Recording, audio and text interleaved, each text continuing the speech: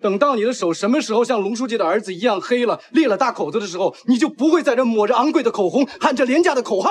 眼前的男人为何会如此激动？原来他是龙潭镇刚上任的副镇长蒲全生。就在刚刚，天气预报完米西村有大暴雨，镇里紧急下达了防汛工作的通知。可村民们根本不信，他们依旧兴致勃勃举行一年一度的斗牛大赛，由山上和山下各出一头牛比赛。完米西村锣鼓喧天，热闹非凡。村民田老八正在号召村民下注。还是压我们山上的人多喽！压山上多怎么了？就算赔钱，我也压我们山下的。今年牛王必须是咱们山下的。他们自动分成两个阵营，各自为自己队加油助威。村主任向有亮和村书记石排山亲自督战。完米西扶贫队科研来找潘镇长汇报。潘镇长，哎，别喊了，潘镇长到目的地防汛去了。那龙书记呢？龙书记县里开会还没回来呢。这下麻烦了，这下要出大事啊！出什么事了，小伙？你是谁啊？我是新调来的副镇长蒲全生。蒲镇长好，你哪个村的？我是完米西扶贫工作队的科研。我们村山上山下正聚众斗牛呢。没收到防汛通知吗？为什么不拦着？我哪拦得住啊？这斗牛斗的牛没红眼，人都红眼了。我要拦得住，我来这儿干嘛呀？带我去。哎，斗牛比赛开始。蒲全生气喘吁吁赶到，让村民取消这次斗牛比赛，尽快疏散。暴雨山虎的警告，上级发了这么久，为什么不疏散人群？为什么还有心情在这斗牛？疏散人群，马上！可村民们坚决不干，一致要求继续斗牛。就连村里德高望重的惹阿公都站出来反对蒲全生。这个斗牛节是大家集资办的，没拿政府的一分钱，就连牛倌的酬劳和牛吃的饲料都是由村民分摊的。是你说散就能散了的吗？水火无情啊！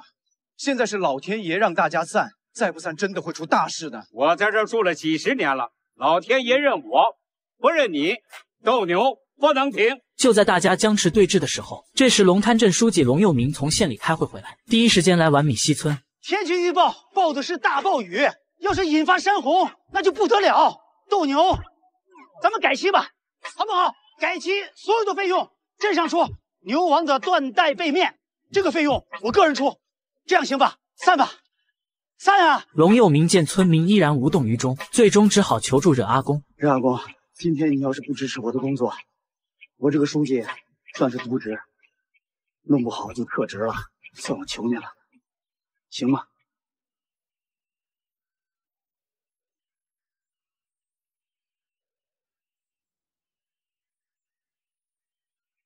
转眼间，天降大雨，山上洪水直流而下，眼看就把村子淹没。龙佑明掩护村民们转移，而村里的惹阿公却迟迟不走，坚持要把寿材带走。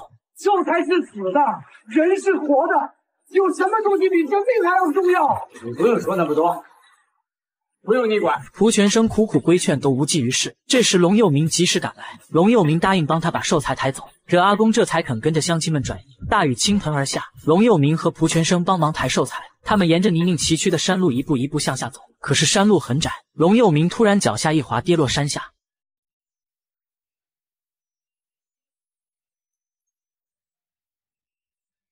蒲全生赶忙把龙佑明送往医院，他紧紧抓住蒲全生的手，说：“村民因为穷对生活没有指望，所以才把希望寄托在这些虚无缥缈的事情上。龙佑明唯一的遗憾就是愧对儿子，儿子的养猪场得瘟疫，猪都死光了。因为工作的缘故，他却帮不上忙。尽管医护人员全力抢救，最终还是不幸离开了人世。因为防汛撤离不及时，蒲全生当即就解散了村支两委。错误是犯下了，我认。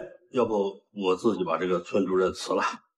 好。”我要的就是这个态度。回去写好你的辞呈，存支书向永亮也应马上停职。众人为龙佑明举行了追悼会，镇长潘学斌当众宣读了龙佑明的遗嘱。龙佑明要把所有的积蓄六万两千元上交党费，将帮助百姓脱贫。蒲全生当场提出反对，因为龙佑明家生活也很困难，他建议拿出一万元上交党费，剩下的给他们家人补贴家用。这时，省电视台记者沙鸥站了出来，他站出来反对蒲全生，指责蒲全生违背龙书记的遗愿。沙鸥强烈抗议蒲全生的决定，蒲全生没有着急说话，而是把身旁龙书记的儿子扶了起来。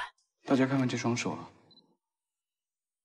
龙书记的儿子靠自己的双手养猪脱贫，没有向他的父亲要过任何的一分钱。眼看着日子要好起来了，赶上了猪瘟。这笔钱对于他们来说，是否能够真正的脱贫、不再返贫，有多么的重要？五万两千块钱，这不也是在扶贫吗？大家觉得这个钱他不应该拿吗？此话一出，现场鸦雀无声。最后，大会通过举手投票，大部分人员支持龙书记妻儿收下大部分钱。会议结束，沙鸥叫住了蒲全生，认为他在抢烈士的风头，认为他是想出名，故意做一些哗众取宠的事情。我是在用媒体人的公平心挽救一个急着想要当网红的副镇长。等到你的手什么时候像龙书记的儿子一样黑了，裂了大口子的时候，你就不会在这抹着昂贵的口红，喊着廉价的口号。然而，蒲全生的这些话也让沙鸥倍感屈辱。如果你是这种态度的话，那我只能如实报道了。在树立英雄典型的报告会上，一个狂妄自大的副镇长想要博眼球，为所欲为。因为沙鸥的报道，导致视频在网上迅速发酵。县委书记姜思维把蒲全生叫来问责，说他这是新官上任三把火，第一把火就烧掉了村支两委，第二把火就篡改别人的遗嘱，把他好一顿数落。蒲全生倍感委屈。这几天，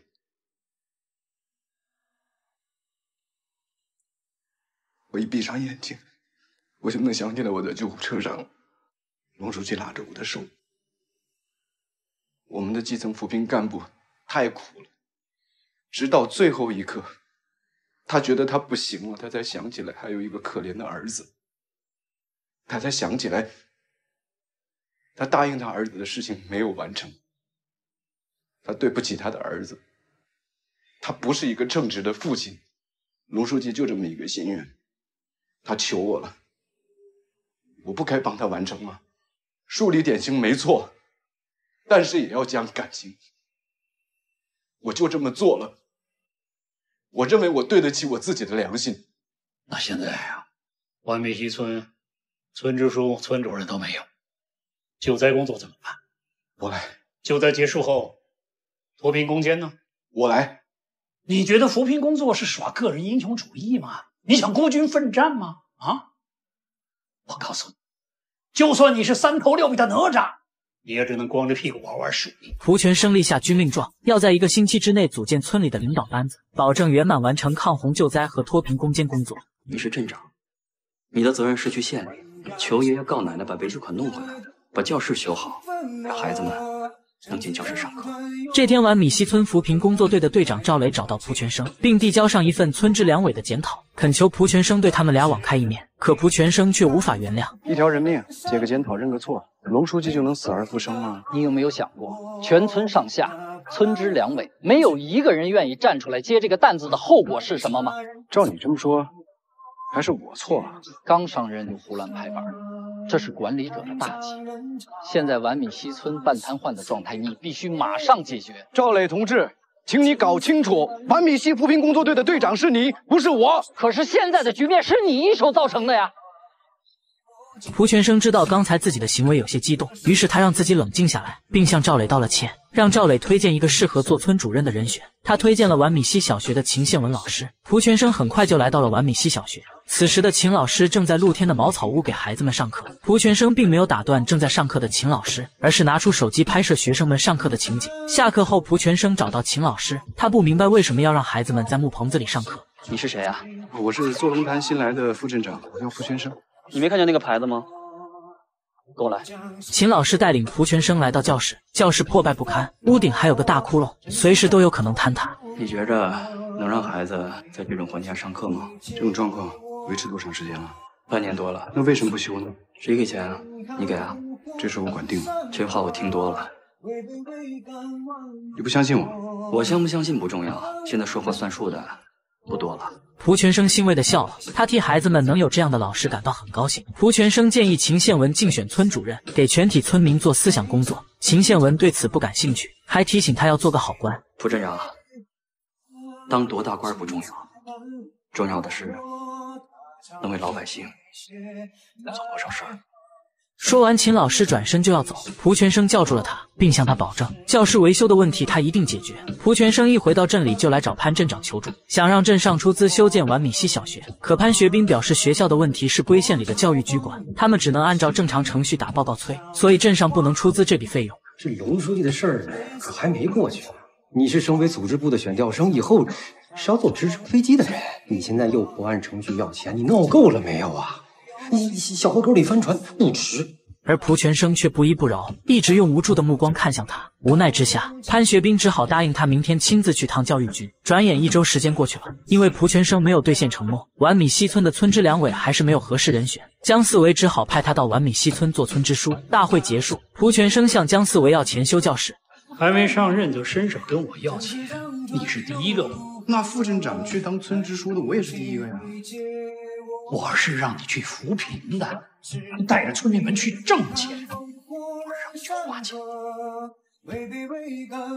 另一边，还在休假的沙鸥突然接到台里的电话，原来之前台里的扶贫老孙出了车祸，领导要让沙鸥顶替老孙的位置，派他去完米西村接替老孙的工作。听到这的沙鸥立马愣住，他赶紧和领导推辞，何总拒绝了沙鸥，还让他赶紧回来参加扶贫培训。沙鸥连夜赶回电视台，想让何总把他调去别的村子，却遭到领导的反对。何总，您有所不知。这笔党费谁做主一播出，雍城县就把坐龙滩镇的副镇长蒲全生给撤职了，让他去皖米西当村书记。我把人家得罪成这样，我到了皖米西，万一他给我穿小鞋该怎么办呀？还有这么巧的事儿？可不是嘛，谁能想到？所以，我我想换个地方。不行，名单已经上报了，改不了了。沙鸥无奈只好硬着头皮赶往玩米西。另一边，蒲全生也在收拾行李，准备去玩米西走马上任。潘学兵亲自出来送他。蒲全生还在惦记给完米西小学修学校的事情，于是让潘学兵赶紧催促教育局。潘学兵答应尽力争取。沙鸥在赶往村里的路上，却遇到山体塌方，道路被石块和泥沙挡住去路，手机也没有信号。沙鸥正一筹莫展时，恰巧碰见赶往完米西任职的蒲全生。需要帮忙吗？你好，这怎么回事啊？这里一下雨就经常塌方。哦。谢谢啊！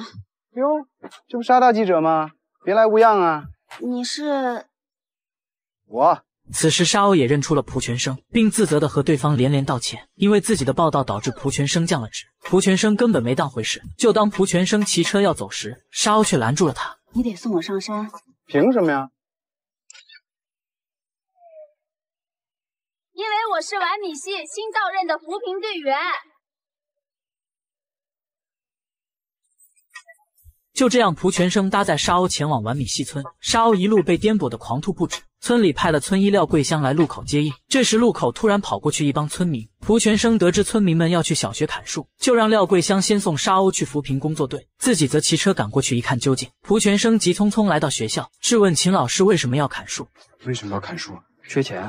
那砍树是违法的。教室后面的树属于学校的财产，不违法。十年树木，百年树人。我想这个道理你比谁都清楚。这么说你，弄到维修卡了？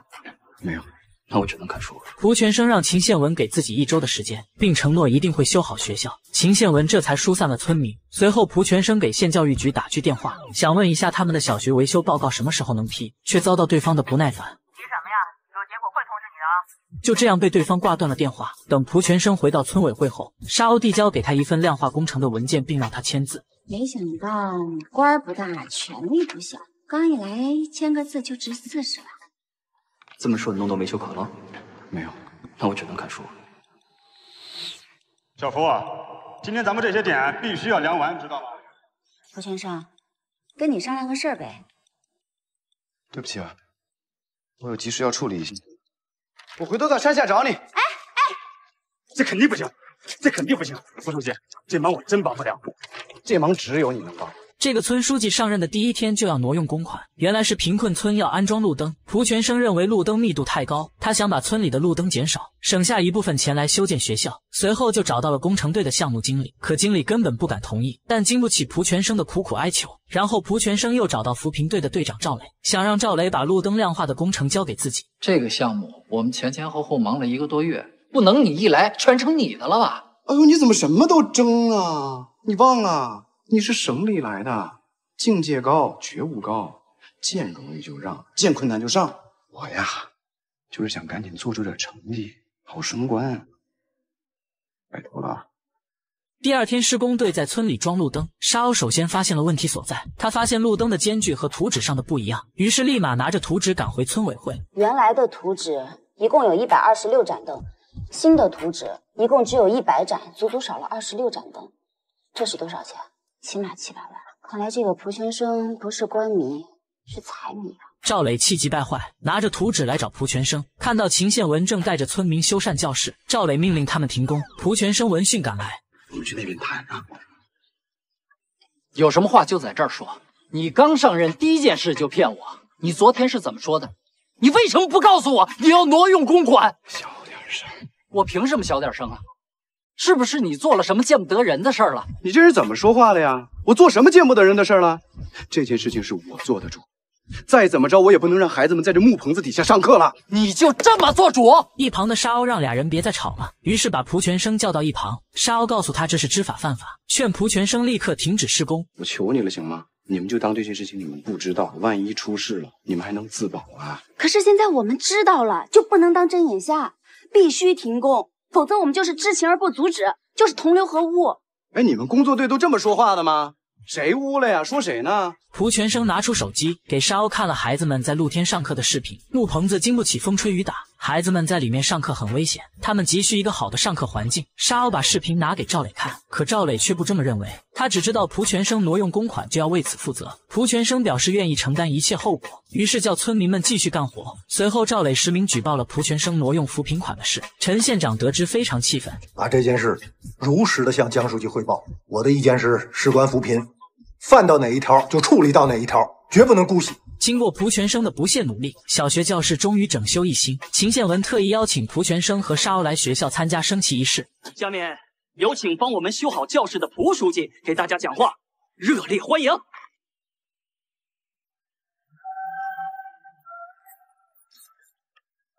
同学们好，蒲书记好。就在这时，陈县长打电话给蒲全生，蒲全生刚接通电话，就被陈布胜劈头盖脸把他训斥一顿。蒲全生表示愿意接受处分，陈布胜让他在碗米溪等着自己，他要在碗米溪村召开现场会。很快，陈布胜带着县里和镇上的各级领导来到碗米溪，准备在碗米溪小学召开现场会。村民们也都前来围观，可教室大门紧锁，秦宪文的电话也一直打不通，众人也都焦急万分。潘学兵建议把教室的大门撬开，不用撬，屋里开不了，外边开，坐着开不了，站着开。倒要看看这完米西唱的是哪一出。是吧，哎，那秦宪文到底是什么人？他是这个学校唯一的老师，平时很负责任。对对对对，这叫负责任。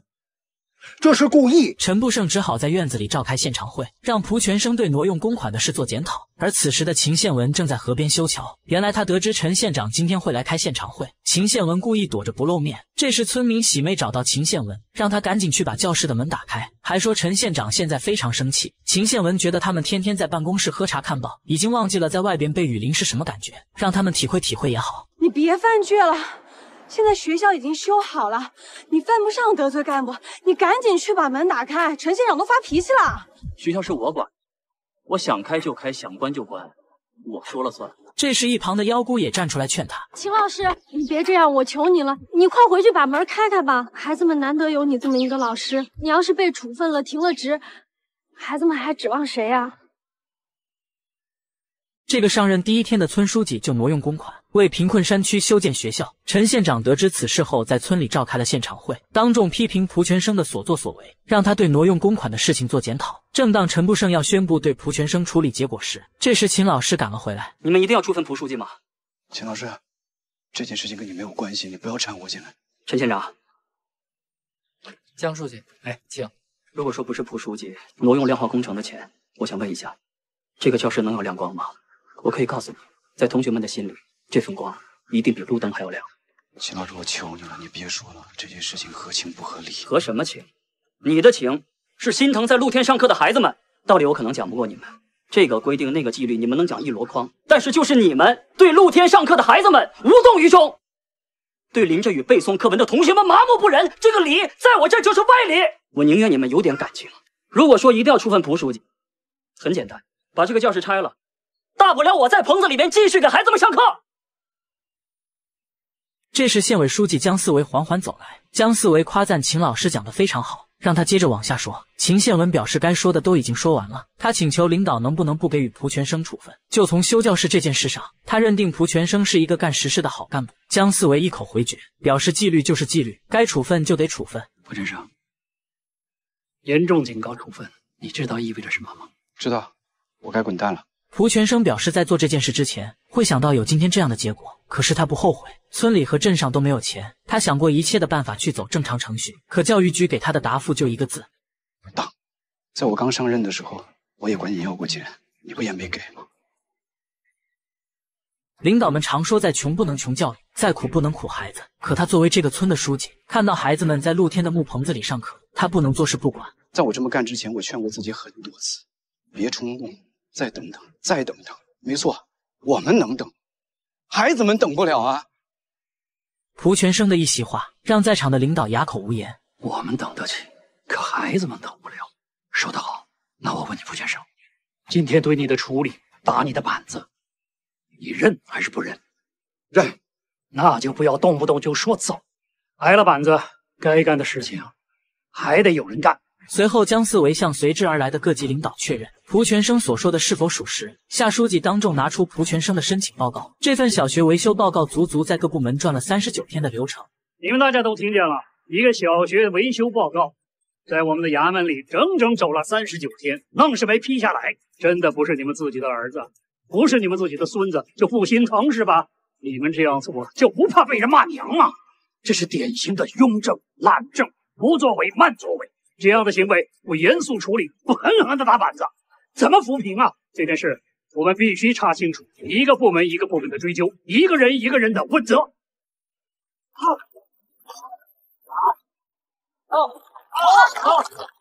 姜四维和陈布胜在完米西村转了一圈。姜四维感叹这里山清水秀，可村民们的手里还端着要饭的碗。陈布胜没有回应。姜四维看出他这是心里不舒服。陈不胜觉得姜四维对蒲全生处分太轻。俩人来的时候明明说好对蒲全生是调离处分，结果姜四维却变了卦，只给了蒲全生处分，却没调离，这让陈不胜心里很不舒服。我是向夏书记了解了情况，所以才做了调整。完米西的情况你也知道，这个地方民情比较复杂，主要干部不宜换来换去。村民对一个受过处分的村书记还能相信吗？刚才的掌声你没听见？那掌声是给您的。错，那多半是送给蒲全生的。还有秦老师说那些话，虽说话说的有点冲动，但是忠言逆耳啊！咱们不能让那些真干实事的扶贫干部寒心呐，得有人给他们撑腰。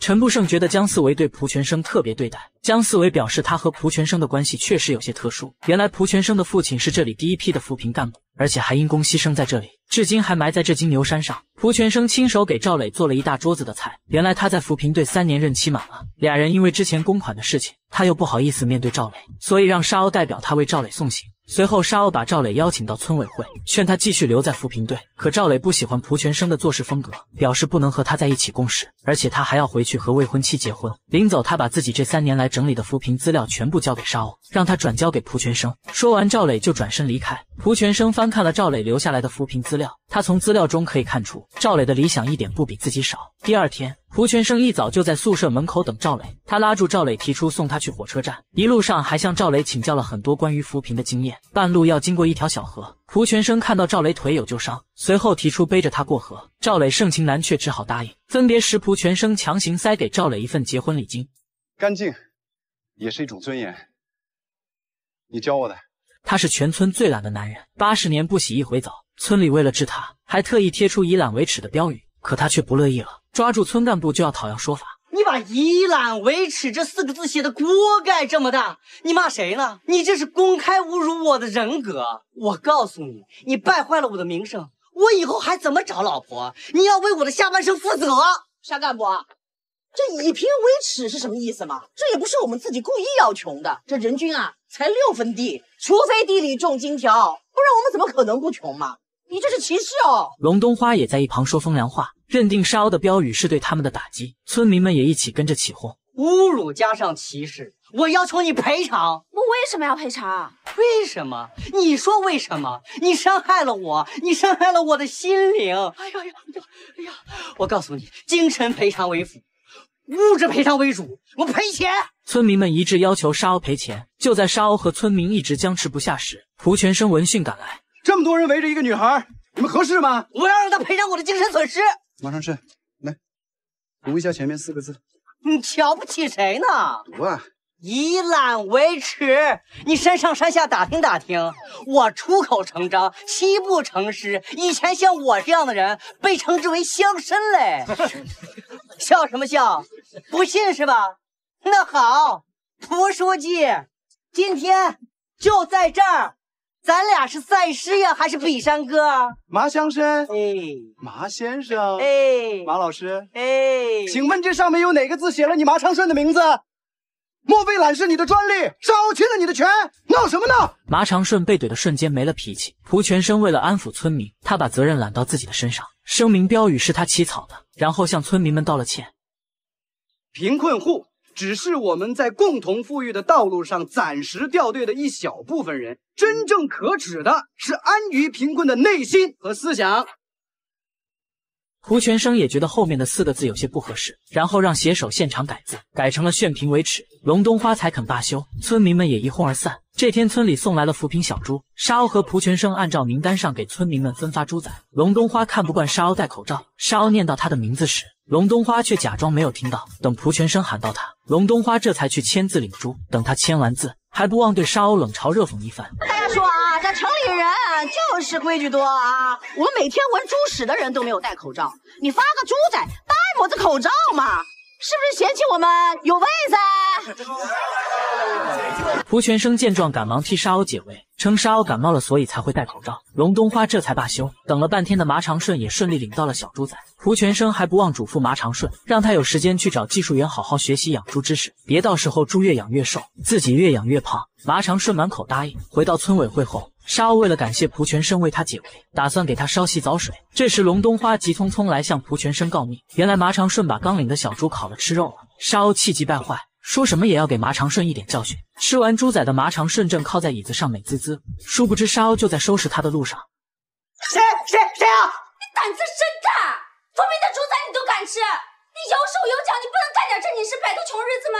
干什么干什么？我不干，反正国家养着我，你们还敢把我饿死？扶贫是你们干部的事，你们立了军令状，完不成任务。是撤你的职，又不是撤我的职噻！哎，干什么干什么？马屁虎，你给我听好了，你扶贫不是扶老汉，你这好人种树树枯，养鸡鸡瘟，你就是欠打！啊！哎呀！啊！哎！啥干部？下手在重点噻！县人民医院。这个时候有空调喽。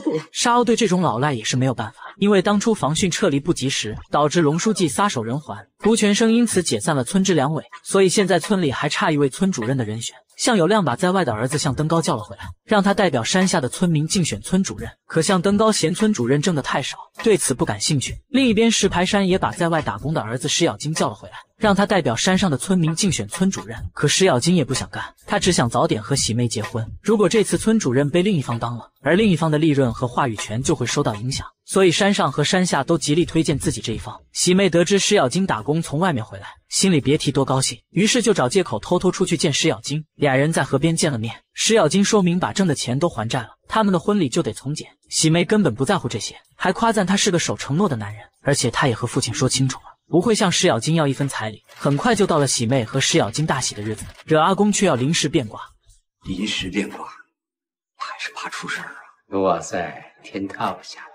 另一边，龙东花带着石咬金去迎亲，还给迎亲的队伍纷纷发放了红包。可村民们打开红包，嫌弃红包太小。龙东花赶紧圆场，承诺石咬金当上了村主任后再给大家补上。一旁的田老八却不乐意了，田家旺认定向登高才是他们的村主任，说完就要带着迎亲的姑娘们先走。老八，老八，等等等等等等，你看啊，我们来了这么多小伙子，你们迎亲的姑娘还没给我抹黑脸嘞，你说？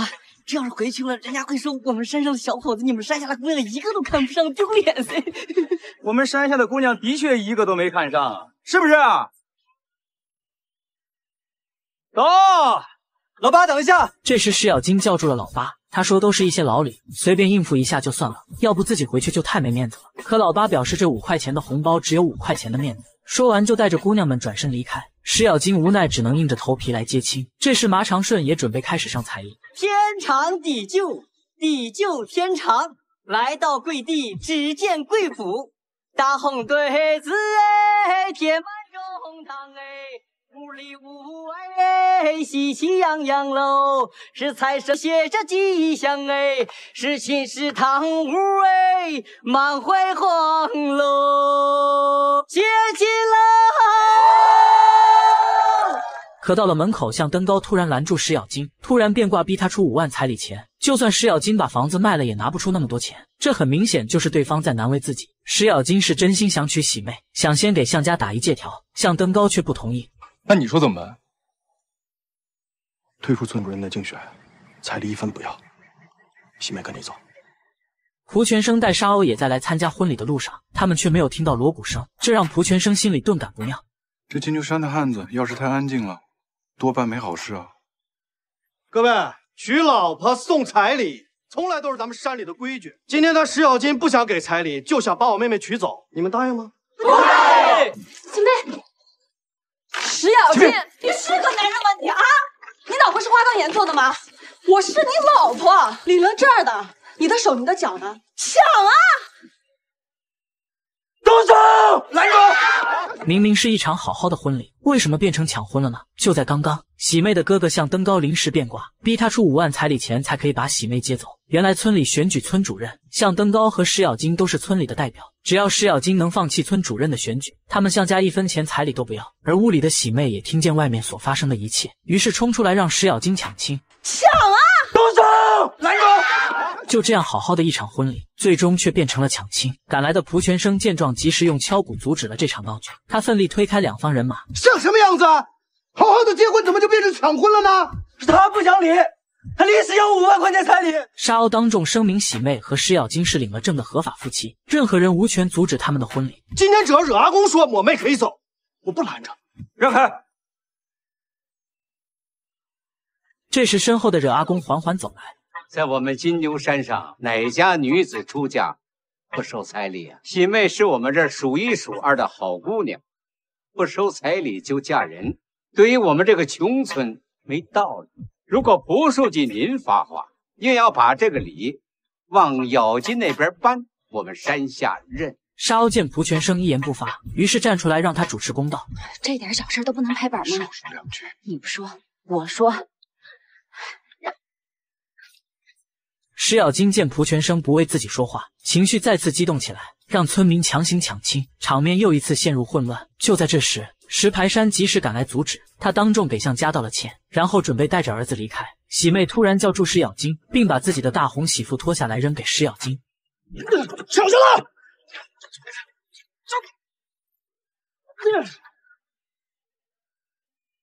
把他挂起来，从今以后我就是你老婆。”回去。我不走，我没接到我老婆，我哪儿也不去。你今天要是不听我的话，我就打断你的腿。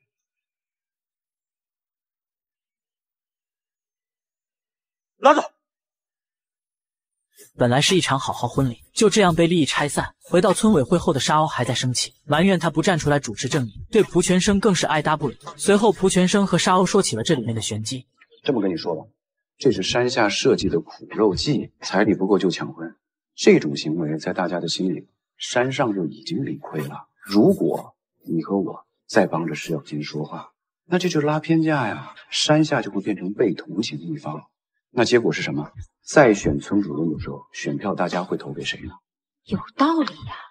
转眼间就到了选举村主任的日子，村民们也都开始纷纷投票。屋外的田老八借此和村民们下注。这时，秦宪文从屋里出来，他二话没说，只见秦宪文从兜里拿出刚发的五百元工资，但是他不赌谁赢，他要赌平局。如果平局的话，田老八要一赔一百。任总啊，任总你别耍威风，把赌局撤了，别脏了我的地方。老子想在哪儿赌在哪儿，平局。这几十年山上山下就没有出现过。赌，老爸跟他赌，老爸赌，对，老爸跟他赌，跟他赌了。别起哄，别废话，敢不敢赌？赌，大不了老子把房子押给你。老爸，别跟他赌房子，跟他赌媳妇儿。一会儿，你再说一句，信不信我劈了你？屋内的投票结果很快就出来了。尽管向登高获得二十四票，可是不够半数，这次选举不算数。龙东花赶忙跑去汇报投票结果。有结果了，两个人都没有超过半数，这下谁都当不了村主任喽。田老八还真是平局嘞，你这下子可是输掉五万块喽！田老八顿时傻了眼。愿赌服输吧，老子输得起，明天到我家收房子，我把房契给你。你真没良心！我没良心，我把房子输给你，我睡在外边，我没良心。那你想过妖姑睡哪吗？房子我可以不要，但是我必须教育你一下，害己心，别害人。我让你老实俩人因此大打出手。就在这时，惹阿公从屋里走了出来，因此训斥了老八一顿。老八，人家不要你的房子了，你还在这丢人现眼啊？滚！滚！田老八只好气冲冲的离开了。惹阿公又拦住一旁的秦献武：“你不要老八的房子，张，除了房子以外，我想你也不会看上其他的，对吧？”蒲全生还在为了竞选村主任的事情而操心，他担心村主任一直选不出来，就会出现贿选的可能。一旦出现贿选，他和沙鸥的职业生涯也就到头了。所以蒲全生想一肩挑，他想出任完米西的村主任。沙鸥劝他趁早死心，因为他不是完米西村的村民，根本没有资格参加竞选。不过蒲全生心里已经有了主意。第二天一早。蒲全生就来到镇上的派出所。原来他想把户口迁到完米西村，马所长却他三思。虽然户口能迁到村上，但也是空挂在村里，只有选举权和被选举权的作用，没有宅基地，更没有分红。可蒲全生心意已决，坚持要把户口迁到村上。蒲书记，你这扶贫的决心啊，可真是让我佩服。就这样，马所长给蒲全生办理了手续。潘学兵得知此事后，怒气冲冲找到蒲全生：“你把户口迁到村里，你什么意思？你这个一肩挑上头就没有可以参考的红头文件？”没说反对，那就是可以啊！哦，你非得把自己全搭进去，一点后路都不留啊！我已经搭进去了，没有后路。你把前途全赌进去，你值吗？啊！你听我一句劝，你已经受过一个处分了，没有职务可以再撤了。村支书是最小的官。谢谢你了。潘学兵苦苦规劝蒲全生，可是蒲全生还是心意已决。回到村上的蒲全生在村口贴出布告，宣布他已经把户口迁到完米西村。哎，蒲书记。哎，你怎么给户口迁到我们村来了？从今天开始啊，我就是真真正正的完米西人了。多多关照啊，多多关照。得知消息的喜妹第一时间就来找石咬金，还劝石咬金放弃竞选。她想让蒲全生担任完米西的村主任，把我干掉，把你亲哥干掉，选别的男人上。你怎么想的？你？我的想法很简单，你跟我哥都别争了。这样你就可以早点把我娶回家，明白吗？那我听你的。石咬金只想尽快和喜妹成亲，便满口答应下来。喜妹又从包里拿出推荐信，还让他找村民联名推荐蒲全生。随后，喜妹给妖姑送了两块腊肉。田老八回来看到后，二话没说就要拿着腊肉去换钱。田老八，你干嘛呢？两块腊肉你要拿去换钱？两块腊肉我就能回本，你知道吗？不缺胳膊不缺腿的，一个男人让女人让，你丢不丢人？不是我丢什么人？我丢什么人啊？他是我爹用两头牛骨换来的，打他骂他都应该干点活，怎么了？田老八，他是人不是牛。你放开你，着急回本呢我。田老八，田老八。田老八走后，喜妹埋怨妖姑太懦弱，早就该和这样的男人离婚。但碗米西的习俗，女人一旦离婚就会没人要，所以妖姑也无可奈何。随后，喜妹拿出联名推荐信，劝说妖姑支持蒲全生做村主任。她相信，如果蒲全生带领大家，完米西一定会大变样。沙鸥得知蒲全生要竞选村主任的事，劝他放弃竞选。一旦落选，他在村民心中的威望就会一落千丈，让他三思而后行。做人做事是要理性，是要三思而行。可是我们有爱有恨，我们有感情，为自己想的越多，为老百姓想的就越少。脱贫攻坚，就是要有置之死地而后生的决心。我没想过给自己留队。转眼间又到了选举大会的日子。蒲全生不负众望，以四十票当选了完米西的村主任。蒲全生组织山上和山下的代表，召开了第一次的村委会，首要任务就是解决山上和山下的水源问题。经商量，山上愿意把水闸打开向山下灌溉，但是作为交换条件，山下必须要将自来水无偿的给山上用。向有亮却说，自来水的工程是当初自己四处画圆求来的，山下村民自筹了不少钱，如果就这么无偿的给山上用，他害怕会遭到山下村民的反对。为了解决这个问题，蒲全生建议对建档立卡的贫困户。减免开户费和水费优惠，大家这才纷纷举手同意。由于龙冬花他们一家是超生户，不够资格建档立卡，只能垂头丧气的离开，却被扶贫队的科研教主。我忘了通知你们了，因为你们家的超生处罚呢已经交过了，村里在审核过之后呢，这个建档立卡户啊，蒲书记让我把你们给补上了。那我们家就是建档立卡户了。那我我们也就不需交开户费了。应该是这样的。一旁的马场顺立马就不乐意了，他拉住科研就要讨要说法。他们家凭什么是建档立卡户了？他们家仨孩子，我一个孩子没有，我至今未婚，我有病，不能干重活，一顿吸一顿干，我这个低保户为啥要交费啊？马长顺啊，当初是你为了保住低保户那点钱，我也劝你了，你也不听呀，啊，非要保留低保户，坚决不申请建档立卡户，你这现在也不能怪我。哎，那当初我也不知道建档立卡户会有这么多好处噻，你现在给我办了吧。马长顺，这个世界上没有什么后悔药可以吃，有啊，那你也是老鼠呀。龙东花和麻长顺一言不合就吵得不可开交，沙鸥闻讯赶来制止，又狠狠教育了麻长顺一顿。是你自己的问题，不能什么都想占。怎么会是我的问题呢？明明是你们的问题嘛，是你们的工作不到位，怎么还赖我头上了？你们工作队必须给我道歉，还要补偿，还补偿，还道歉？怎么道歉啊？对不起，没有及时把钱送到您手上，耽误您晒太阳，耽误您发懒劲，耽误您吃烤乳猪了是吗？打人不打脸，打了，闭嘴！揭人不揭短，揭了，闭嘴！我就不信了，还没有说理的地方了。我今天要不给你们个晴天霹雳，你们还不知道我马长顺是个文化人。闪开！文化人。就这样，麻长顺一气之下去县政府告状，又在信访办耍起了无赖。这时蒲全生及时赶来。好言相劝的让他回去，他让蒲全生给自己建档立卡，他就回去。蒲全生让他把低保户取消，就给他建档立卡。可麻长顺两个都要。蒲全生见说不动对方，就要拉着麻长顺离开。哪知道麻长顺又耍起了无赖。县政府干部就敢打人，有没有天理？有没有王法？救命噻！马长顺在县委县政府公开殴打干部，你知道是什么罪过吗？血口喷人！你胡说八道！我都录下来了，你要不要自己看看？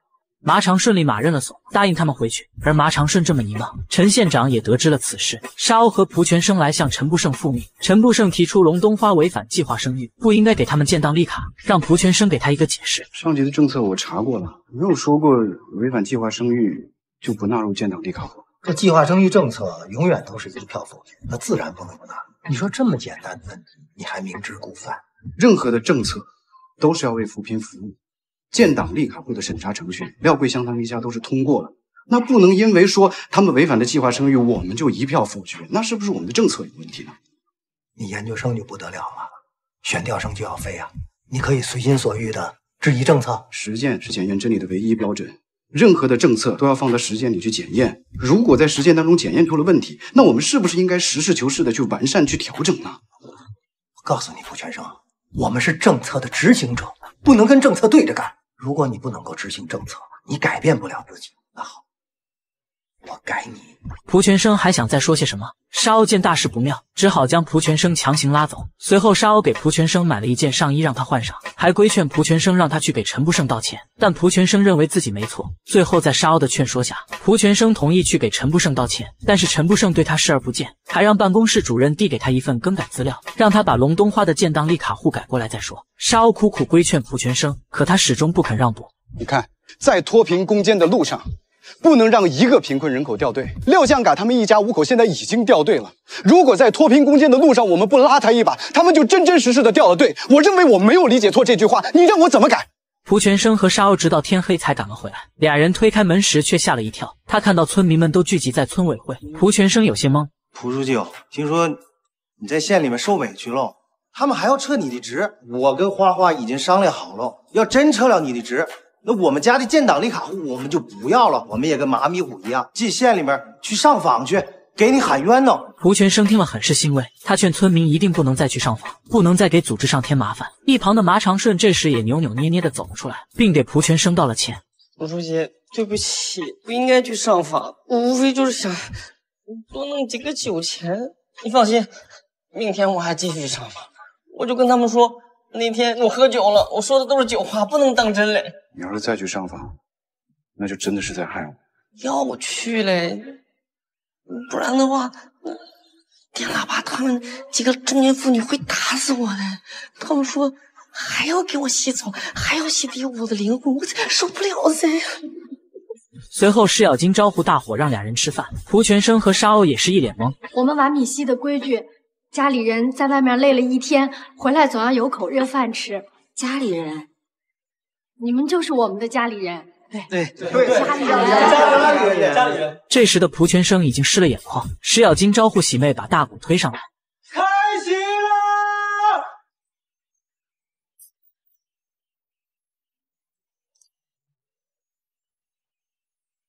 村民们每家带来一道拿手菜，这是玩米西的最高礼仪，以欢迎远道归来家人的长桌宴招待蒲全生。蒲全生看着满满一桌子菜，早已感动不已。他拿起筷子，每道菜都尝一口。蒲全生再也忍不住，眼泪还是从脸颊滑落。由于沙鸥把视频发到网上，视频在网上迅速发酵，让沙鸥的公众号爆火，这也让他找到了新的扶贫方向。第二天，沙鸥就找来喜妹，他想把喜妹打造成网红，然后在公众号推销碗米西的土特产，好带动村里的经济。哪知道施咬金却理解错了沙鸥的意思，他把喜妹打扮成了芭比娃娃，却遭到沙鸥的训斥。你穿成这样，你要跟人家比什么？你敢削骨比锥子脸吗？你敢往胸里塞硅胶吗？你敢把大腿露到这儿穿超短裤吗？你敢吗？我不敢。那我们比什么？我们要比的是 IP。什么屁？原来沙鸥是想让喜妹带动当地产品而实现盈利。那我们第一期做什么呀？湘西腊肉。说干就干，沙鸥让喜妹换上民族服装，喜妹背着几十斤的猪肉，沙鸥则为她拍摄视频。喜妹很吃力的一步步在山路上走，村民们都来看热闹。这背个猪肉还能赚钱吗？人家哟。这是网红经济，啥干部干嘛不找我啊？我力气大呀，我能背一整头猪嘞！哇哇，那喜妹背猪，人家心疼的是喜妹；你背猪，人家心疼的就是猪了。喜妹很快就适应了拍摄的节奏，并在镜头下展示制作腊肉的流程，顺利完成了第一次拍摄。视频拍完后，向有亮对沙鸥的做法提出质疑：来干部，你们费这么大劲拍这个，你确定人家看完了之后就会买吗？有亮说：“我说有人买，您不信；我说没人买，您肯定又担心。所以我现在什么都不说，我们看流量、看粉丝、看销量。”因为这件事情，蒲全生和沙鸥产生了分歧。蒲全生认为，在公众号上卖腊肉，并不能使村民们真正的脱贫。就算喜妹火了，这不代表其他村民也能跟着富起来。他们应该把精力放在产业上。我不这么看。我现在好不容易把大家的积极性都调动起来了，你这是在泼冷水。商榷啊！我都跟你说了是商榷，你这调门一下又上来了。算了，接下来我接着抓我的产业扶贫，你呢继续做你的公众号。但是我求你了啊，别给我弄太大动静。哎，蒲全生，你什么意思？你给我站住！我跟你说，我们不是思维不合，也不是八字不合，也不是性格不合，是性别不合。几天的时间里，沙鸥继续带着喜妹拍摄视频，并展示了制作腊肉的所有流程。经过他们不断的努力，终于取得了不错的成绩。沙鸥成功在网上卖空了腊肉。科研赶忙将这个好消息告诉大家，跟大家报告一个好消息：喜妹熏制的八十斤腊肉，昨天晚上全部卖完了。嘿嘿嘿，小柯干部，不好乱说，不好乱说。喜妹昨天一天都在家，没去集上卖腊肉。我在网上帮他卖的，六十块钱一斤。这一消息也是把大家乐开了花。石咬金提议让全村集体养猪卖腊肉，却遭到了蒲全生的反对。说各家养个一两头，我觉得没问题。但是如果全村一窝蜂养猪，那肯定是不行的呀。万一遇到猪瘟或者猪肉价格下降，那不就赔死了呀？这个公众号啊，今天可以卖腊肉，明天我们就可以卖别的呀。我们可卖的种类非常的多。那那样我们的产业就丰富了呀。因为沙鸥的公众号做得非常成功，而且还为全村提高了经济，这让蒲全生对之前的看法有些改变，还让大家极力支持这份工作。就在这时，蒲全生突然接到派出所的电话，得知田老八因为赌博又被抓了。蒲全生来到田老八家，却看到正在暗自神伤的妖姑。他来找妖姑要钱给田老八交罚款。妖姑拿出家里所有积蓄交给蒲全生，因为田老八败光了家里所有钱，所以他根本拿不出来那么多。如果不够，他只能卖房子。这样，这钱我拿了。现在呢，我借给你这一块钱呢，是你给我的利息，剩下的事情交给我。就这样，蒲全生去派出所交了罚款，把田老八从拘留所里赎了出来。秦宪文得知此事后，他怕妖姑第二天没有钱买黄豆，当天夜里给妖姑送来一袋子的黄豆，悄悄放到门口就走了。妖姑听到动静出来查看情况，他四处查看却没发现人，随后他就把黄豆拿进屋子，却被田老八撞见。田老八问他是什么，只见妖姑支支吾吾说不出来，这让田老八更加好奇。于是他打开袋子，发现是黄豆，他猜到是秦宪文送来的，他一口咬定俩人早就好上了。老子只是被拘留，还没被枪毙呢。你这么着急跟老相好搞破鞋啊？他人呢？他人呢？老爸，你不要胡说八道。你敢说这不是他送的？要不要我挑着满村问问谁送的啊？行，我看你三天不打你就上房揭瓦，是不是？田老八不容分说，拎起棍子就要打妖姑，还好沙鸥及时赶到，他阻止了正要打人的田老八。你打人！你打呀！你打人！打呀！让干部，这里面有误会，也不全怪老爸。他要打你，你还护着他，凭什么怕他？但田老八不依不饶，拎着棍子追打妖姑。就在这时，蒲全生闻讯赶来，他立马制止了田老八。在了解了事情经过后，蒲全生谎称这袋黄豆是妖姑托他买的，可田老八根本不信。随后，蒲全生把那一块钱拿出来交给田老八，说是买黄豆剩下的一块钱，他让他闻一下钱上是不是有豆腐的味道。田老八闻了闻钱上，果真有豆腐的味道，他这才肯罢休。出来后的沙鸥却不满蒲全生的做法。埋怨他不该纵容田老八家暴，蒲全生没有和他据理力争，而是把他带到小桥边，细讲述了秦宪文和妖姑的爱情故事。原来妖姑去镇上卖豆腐，天天都要经过这个桥，因为妖姑有眩晕症，所以每隔一段时间秦宪文都会来这儿修桥。秦宪文和妖姑是青梅竹马，后来田老八的父母给了妖姑家两头牛，然后妖姑就嫁给了田老八。可是没想到秦宪文却是一个情种，师范学校毕业后就在完米西扎了根，准备死等妖姑。之前有很多机会让他去县里工作，但都被他拒绝了。沙鸥想让妖姑和田老八离婚，成全他和秦宪文在一起。每个人心里啊，都有一座通往外面的桥，单方面修桥，只能是桥塌情散。再等等吧，看看他们怎么修好心里这座桥。谁来修啊？秦宪文和阿公。第二天一早，秦宪文就来找惹阿公，他愿意拿出所有的积蓄给田老八，让妖姑和田老八离婚，因为他不能再看着妖姑被打了。憋了这么多年，还是没憋住。我不能看着田老八再这么打妖姑，所以你出头了。我承认，我喜欢妖姑。本来我只想当个好老师，把其他事儿都忍了。但是如果田老八再这么继续打妖姑，我怕有一天我忍不了。惹阿公让他中午来田老八家，答应会给他一个交代。随后，惹阿公拿着酒菜来到田老八家，还把草标挂在了门上。阿公给田老八倒了酒，准备和他谈判。另一边，秦宪文来镇上找妖姑，把他找惹阿公的事情说了出来。我跟阿公挑明了，让他出面解除你和老八的婚姻。你疯了！他答应了，他已经拿着草标去你们家了，你马上就要自由了。咱也不知道妖姑是怎么想的，二话没说就跑回村里。秦宪文也紧随其后跟着回来。此时的田老八还在大口吃肉，他还浑然不知接下来要发生的事。妖姑一口气跑回了家。田老八看到妖姑回来有些意外，接着惹阿公又把外面的秦宪文叫了进来。田老八看到秦宪文就气不打一处来：“你怎么又跟我老婆在一起啊你？是我让他来的。坐下。老八，嗯，酒喝好了，好了，肉吃美了，美了。那阿公疼你，也就做完了。下面咱们说另外一件事。他又问田老八昨天是不是又去赌了？回来之后又打了妖姑。田老八没有否认。惹阿公怒斥田老八，如果老婆不想要了，草标他已经挂到了门上，愿者可取。田老八立马给阿公跪下认错，他让阿公怎么处置他都行，但是老婆绝对不让。丢人的事做，不是空口白牙一说就没事的。今天我要用家法。只见田老八拿出条凳，他心甘情愿地脱掉上衣，趴在条凳上。妖姑见状，赶忙上去替老八求情，还被一旁的田老八训斥了一番。只见惹阿公缓缓走上前，准备对田老八执行家法。毒源流害疾，荒耕废业，啊！父母不子，亲邻不知。我让你有手。不甘天，我让你回家打老婆，我让你阿公，阿公！妖姑赶忙下跪为老八求情，但是惹阿公根本没有停手的意思。这时一旁的秦宪文也求阿公停手，惹阿公这才停手。秦先生，阿公做事一碗水必须平。如果你对今天的处理不满意，门上的草标你可以摘了。你想干什么？不拦着。只见秦宪文给阿公鞠了躬，然后默默的离开了。但他并没有取下门上的草标。另一边，沙鸥继续带喜妹拍视频卖货，一百斤的包谷烧酒很快销售一空。经过他们的不懈努力，粉丝也突破了三十万。而沙鸥也想趁此机会回一趟电视台，想让台里扶持一下喜妹公众号。要扶持喜妹啊？嗯，那我老婆以后不成了村里的富婆了？什么富婆呀？难听。我告诉你，石小金，从现在开始，喜妹这个名字不仅仅属于你一个人，它是属于全村的。沙鸥一回到电视台，就给各位领导播放了喜妹公众号的视频，隆重介绍了完米西村，请求领导大力扶持。殊不知，沙鸥却等来了另一个消息：你顶替去扶贫的老孙现在病好了，积极要求重返扶贫一线。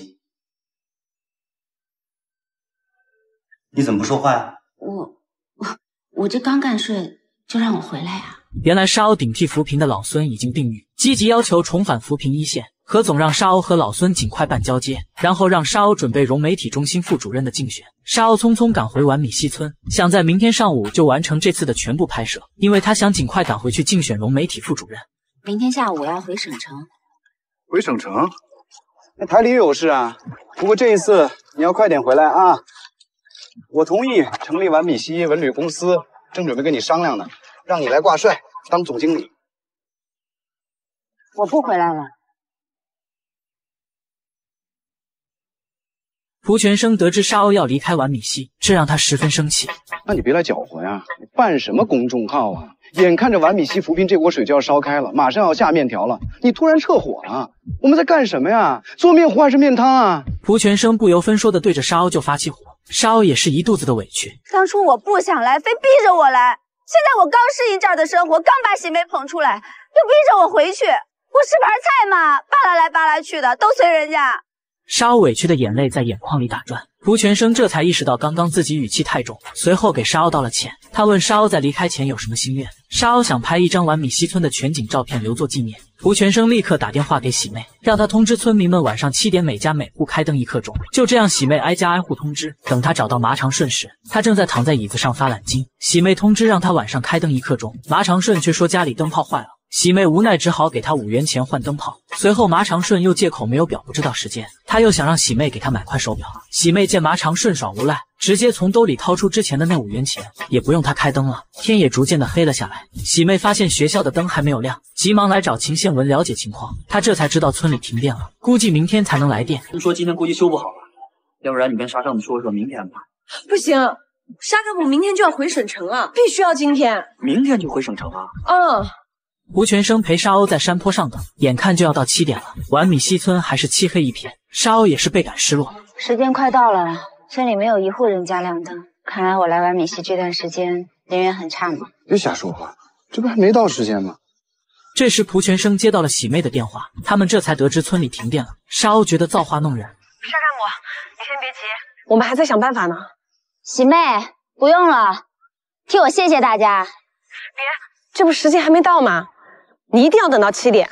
随后，喜妹号召村民们点起火把，然后让村民举起火把在山间小路奔跑。村民们家家户户都在院子里点起篝火，像有亮把堆成山一样的木柴点燃。秦宪文也在操场上点起了两大堆篝火，就连麻长顺也拿出打火机，然后高高举过头顶。完米西村瞬间被点亮，真的亮了，是篝火啊，每家每户都点了。这是为我点的吗？沙鸥感动的说不出话来，他举起相机拍下这温暖和难忘的一刻。他大声感谢乡亲们的成全，谢谢乡亲们，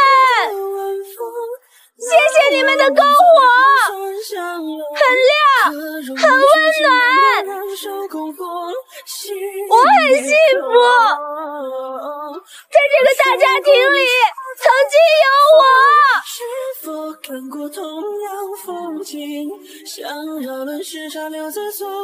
到了深夜，沙鸥独自一个人坐在汽车机盖上，他想最后看一眼晚米西的夜景。胡全生倒上一杯酒为他送行，俩人坐在机盖上推杯换盏，都在畅想着美好的未来。第二天一早，胡全生开车把沙鸥送到国道路口，两个人一一告别。我这一走，也许以后很难有机会再见了。别说的那么伤感吧。人生何处不相逢？谢谢你这么长时间以来帮了我这么多的忙。你这以后回了台里当了大官，还请你对完米西多多关照。上车吧，再见。再见。三个字，只能说给自己听，仰着头，不要让眼泪。随着沙鸥的离开，哪知道向登高又打起了喜妹公众号的主意，还请来了多媒体的丁总监向喜妹合作。为了表达诚意，我呢可以代表我们公司提前向喜妹预付五万块钱定金。网红公司要签约村花，还愿意拿出高额聘金签约她。向登高此时已经两眼放光，可喜妹却不为所动，当场就拒绝了丁总的合作提议。不是你哥，你打我脸是吧？宁肯听沙鸥的，也不听你哥的是吗？我听你的，我能现在还没成婚吗？跟我翻旧账是吧？我告诉你啊，跟谁过不去，都不能跟钱过不去。向登高哪里会错过这眼前的机会？他直接替喜妹收下这笔钱，向丁总保证一定会说服喜妹。向登高，你要干什么？我要让你成为完米西的首富。随后，石咬金急忙跑来找蒲全生。向登高刚才来找我说要给我五万块钱，只要我说服喜妹跟那个红人公司签合同，这钱就归我，而且不要彩礼了，立刻就能跟喜妹完婚。你不会收了吧？我不敢呐！我可告诉你，这回五万块钱的诱惑我扛住了，要是下回他们给更多，那可不好说。蒲全生担心夜长梦多，马上打电话通知沙鸥，提起有网红公司要签约喜妹的事情。蒲全生觉得大家只是一时立场坚定，因为对方开出了高价，人不可能跟钱过不去。时间久了，很有可能会动摇念头，所以让沙鸥尽快劝说电视台与喜妹签约，否则沙鸥之前的努力都会付诸东流。挂断电话后，沙鸥第一时间就来找何总谈判。经过台里的研究决定，认为喜妹是个好苗子，所以电视台同意与喜妹签约。是跟喜妹个人签，还是跟完美西文旅公司签呀？当然是个人。那喜梅不就成台里的资源了？我们打造她、培养她，那当然就是台里的资源了。我是把她当成一个扶贫项目来做的，我以为台里能支持我。现在台里只跟个人签，村集体得不到好处，村民会认为我们扶贫是在帮个人发财，那以后谁还有脱贫的积极性啊？就你扶贫，台里不扶贫吗？台里作为扶贫后盾单位，在扶贫资金上从不吝惜，但经营就是经营。跟个人签肯定不行，台里不能再考虑一下吗？你是来跟我谈判的吗？谈买卖？我说的是事实。什么是事实？你告诉我什么是事实？就这样，沙鸥还被狠狠训斥了一顿。沙鸥只好打电话如实告诉蒲全生。蒲全生也料到会是这样的结果，但他相信沙鸥在这件事情上肯定全力以赴的争取过。要怪就只能怪完米西村太穷了，但脱贫工作还要进行。这天，蒲全生根据赵磊留下来的图纸，找到一块足足有五百六十亩的尾矿地。他觉得把这个地方租下来变成耕地。我是这么觉得的啊，土地很重要，如果没有土地，我们说什么都是白搭。我的建议啊，就是干。干是要干，关键是干什么？种植、养殖，还是搞扶贫车间？我没想好呢。哎，你没想好就干，这不是赌博吗？不是赌，是搏，搏斗的搏。脱贫攻坚啊，不能总是等到时机成熟、条件具备了再干。有的时候呢，我们就必须主动搏一搏。土地对于我们来说很重要。在我看来啊，不管怎么样，我们先把这个地整出来。至于这个地今后我们怎么利用，我们可以群策群力，建言献策嘛。我建了个群啊，这个群的名字就叫做“种太阳”。种太阳，对，种太阳。随后，他召开了诸葛亮会，不但找来村委会的成员，还特意请来村里的种植能手，让大家畅所欲言。廖桂香提议种药材，石咬金想种水果，大家也都纷纷发表了建议，但始终没有得到一个有效的结论。石排山得知此事后，他带蒲全生来到那片尾矿地，发现地上却长出两棵桑树，在没有人打理的情况下，还生长得非常好。石排山是种树能手，在他的种树经验得知，桑树不但不挑地，还好养活，而且桑树非常喜欢水，正好玩米西又是潮湿多雨地带，非常适合桑树的生长。蒲全生也明白了排山叔的意思，他是想种桑养蚕。对呀，你看啊，一亩桑田可以养蚕三到四张，一张蚕种可以产蚕茧六十斤，一斤蚕茧现在的市场收购价应该在二十二元左右。如果这五百六十亩啊都种上桑树的话，你想想，那是多大一笔收入啊！蒲全生觉得可行，他掏出手机算了一下，如果这片地种桑养蚕，以后每年全村每家都能多出四千多块钱。随后，蒲全生录制了一段视频发到了工作群。他觉得石排山的建议非常好，先种树，然后再做蚕丝加工，这样碗米稀就有了一条龙产业。除了可以给村里带来稳定的收入，还能解决村里大部分人的就业问题。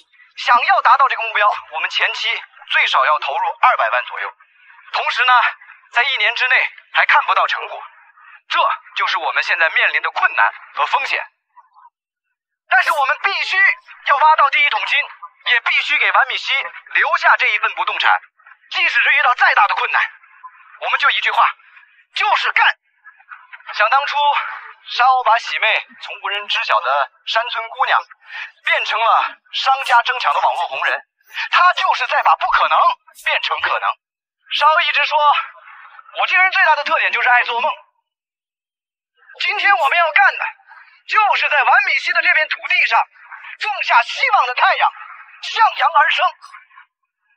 我们要像沙鸥一样，把一个个不可能变成可能。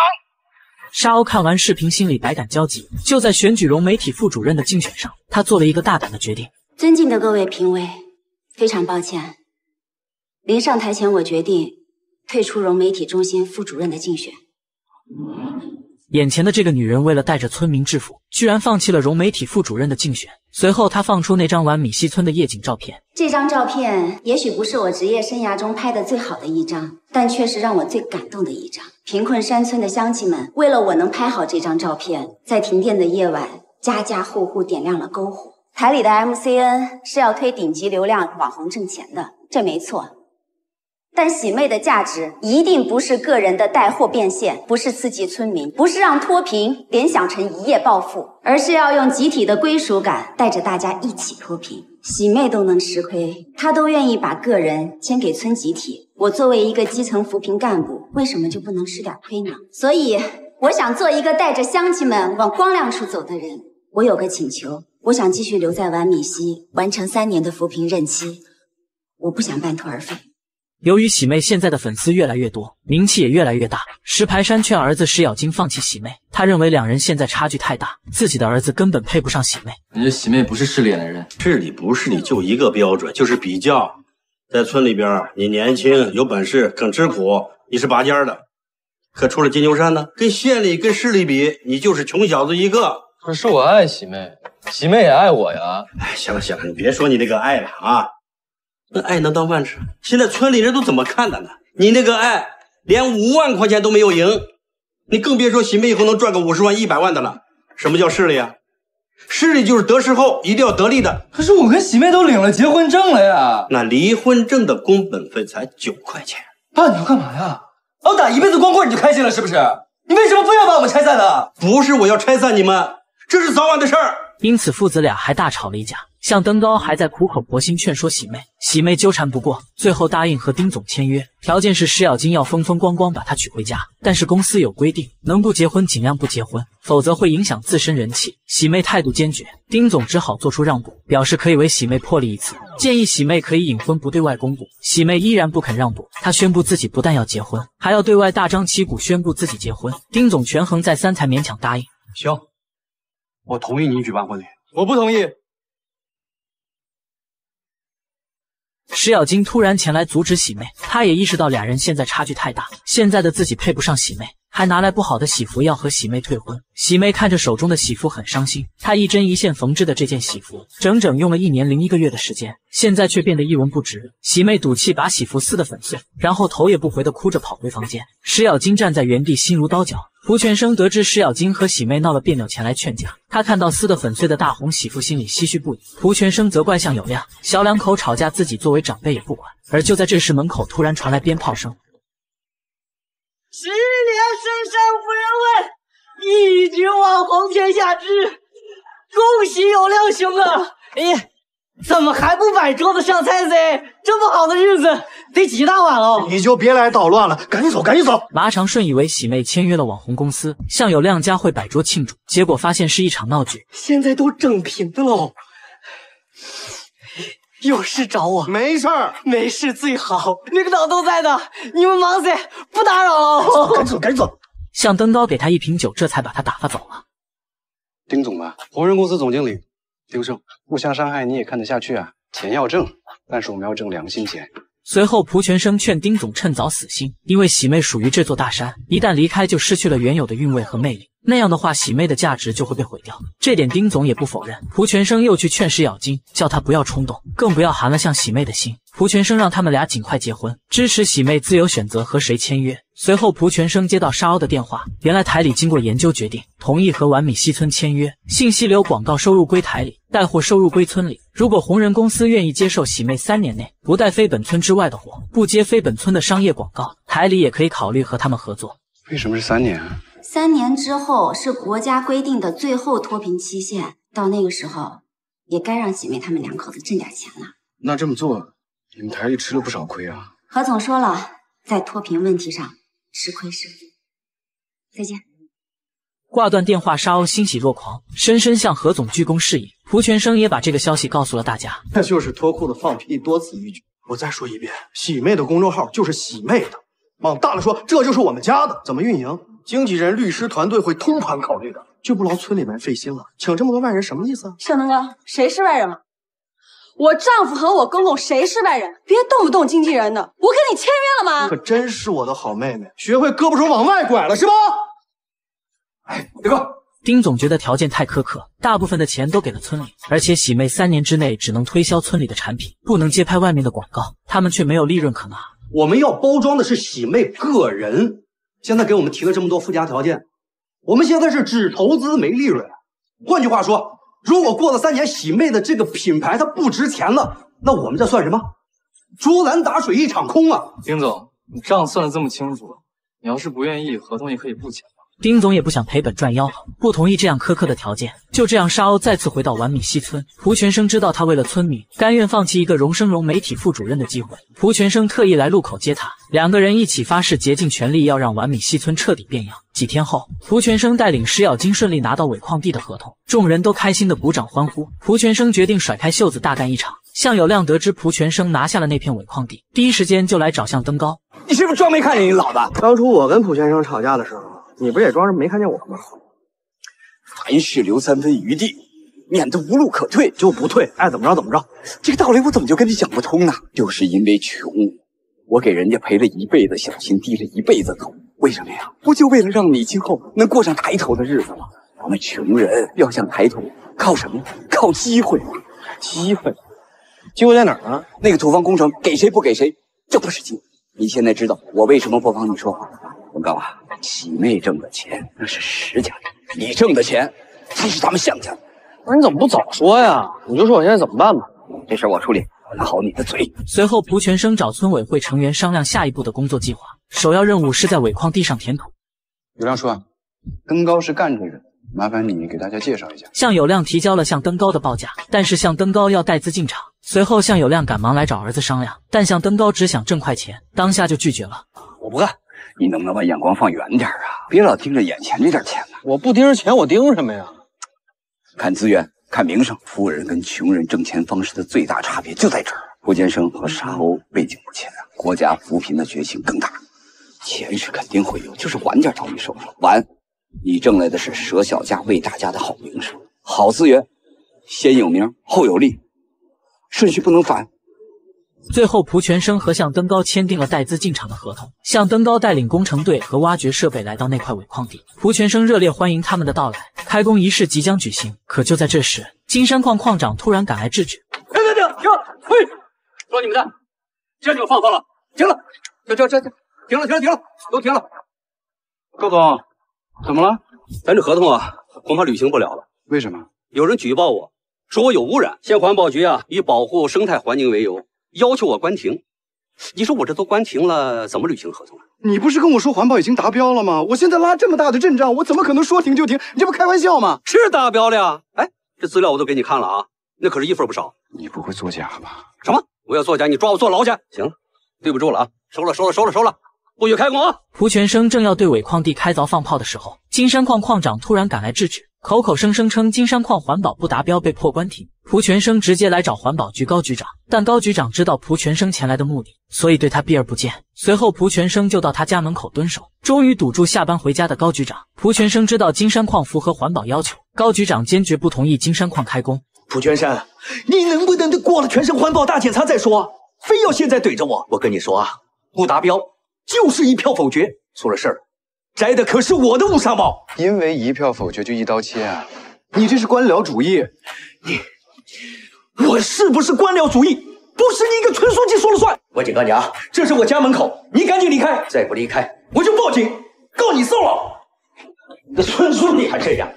次日，高局长就把蒲全生告到了县长那里。环保这一块本就是陈不胜主抓的工作，得知蒲全生的所作所为，陈不胜非常生气。次日一早，陈不胜就带工作组来到尾矿地。蒲全生堵领导家门口，自知理亏，他主动向陈不胜认错，却被陈不胜狠狠教训了一顿。县里的环保工作由我负责，这件事情高局长没有问题，在没有经过大检查之前，你的这个工地必须得停工。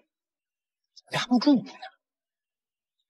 向登高得知县长亲自发话要停工，便要求蒲全生立刻给他结账走人。我不干了，结账吧，别到最后钱没挣到，再抓以违法的典型。随后，向有亮把向登高拉到一旁，让向登高再顶几天。如果事情有转机，他们父子俩就是村里的功臣。蒲全生跟陈木胜谁玩大？你当然是陈县长。所以啊，咱们得听陈县长。但是李翻身的情可不在陈县长手里，你的命运是掌握在这个卜全生手里。咱们必须赌对。哎，赌赌赌拿什么赌啊？啊，爸，你知道吗？这人和挖机一天多少钱？你知道吗？随后，向有亮拿出所有家底八千块钱，让他能顶几天是几天。这时，他突然接到王老板的电话，让他把工人和挖掘设备全部带回去，否则自己就滚蛋。让王老板说了，天黑之前人和设备都得带回去。这回事人家不趟，所以钱呢，你收好。向登高不顾父亲的反对，强行带着人和设备撤走了。田老八借此机会在村里下注，一赔十赌村里种桑养蚕的项目办不成。喜妹看不惯田老八的行为，谴责他落井下石。干什么呢你？啊现在自己的事情干不好，人家来帮我们，你还在这里说风凉话，你觉得有意思吗？喜妹啊，你跟我说的头头是道的。哎，有本事你让那陈县长别生气呀，是不是？要我说，这个田老八被打的还是轻。喜妹只好气冲冲的离开了。沙鸥劝蒲全生放弃基地这个项目，可蒲全生不甘心，但又不想再去麻烦江四伟。全县三百一十九个村，如果村村遇到一点事情就去找他，那他什么事情都别干了。你不一样，你是江书记亲自点的将。沙场点将，公满归乡，我这半功未见的没脸。第二天，蒲全生召集全体村民开会。从今天开始，手挖肩扛，我干！这是完米西村脱贫历史上的重要大会。由于快要到了种桑养蚕的季节，可环保大检查达标的尾矿地被迫停工。现在所有的希望都寄托在尾矿地上。于是蒲全生建议大家采用人工覆盖的方式，手挖肩扛填土二十万方。村民们都觉得他疯了。蒲书记，你这是要愚公移山呢？对。我今天要做的事情就是愚公移山，愚公一家人都能够立志挖掉太行、王坡二山，子子孙孙无穷尽也。如果说愚公移山的故事离我们现在太远，那红旗渠的故事离我们现在很近。五十年前，河南临县的农民靠自己的双手挖出了地上天河，不就是二十万方土吗？他们有一双手，我们也有，他们不怕流血，不怕流汗，不惧牺牲。我们金牛山的汉子也吃得苦，霸得蛮，不怕死。工具我已经准备好了，从今天开始，手挖肩扛，我干。说完，蒲全生就带着工具去挖土。看到村民还是无动于衷，石排山站了出来：“哎哎哎，我们就这样看着人家帮我们挖土啊？我们就心安理得的一分钱不掏的坐在家里边等着分红？政府不希望我们再穷下去了呀？那我们还不努力啊？”救济款就那么好拿？救济粮就那么好吃吗？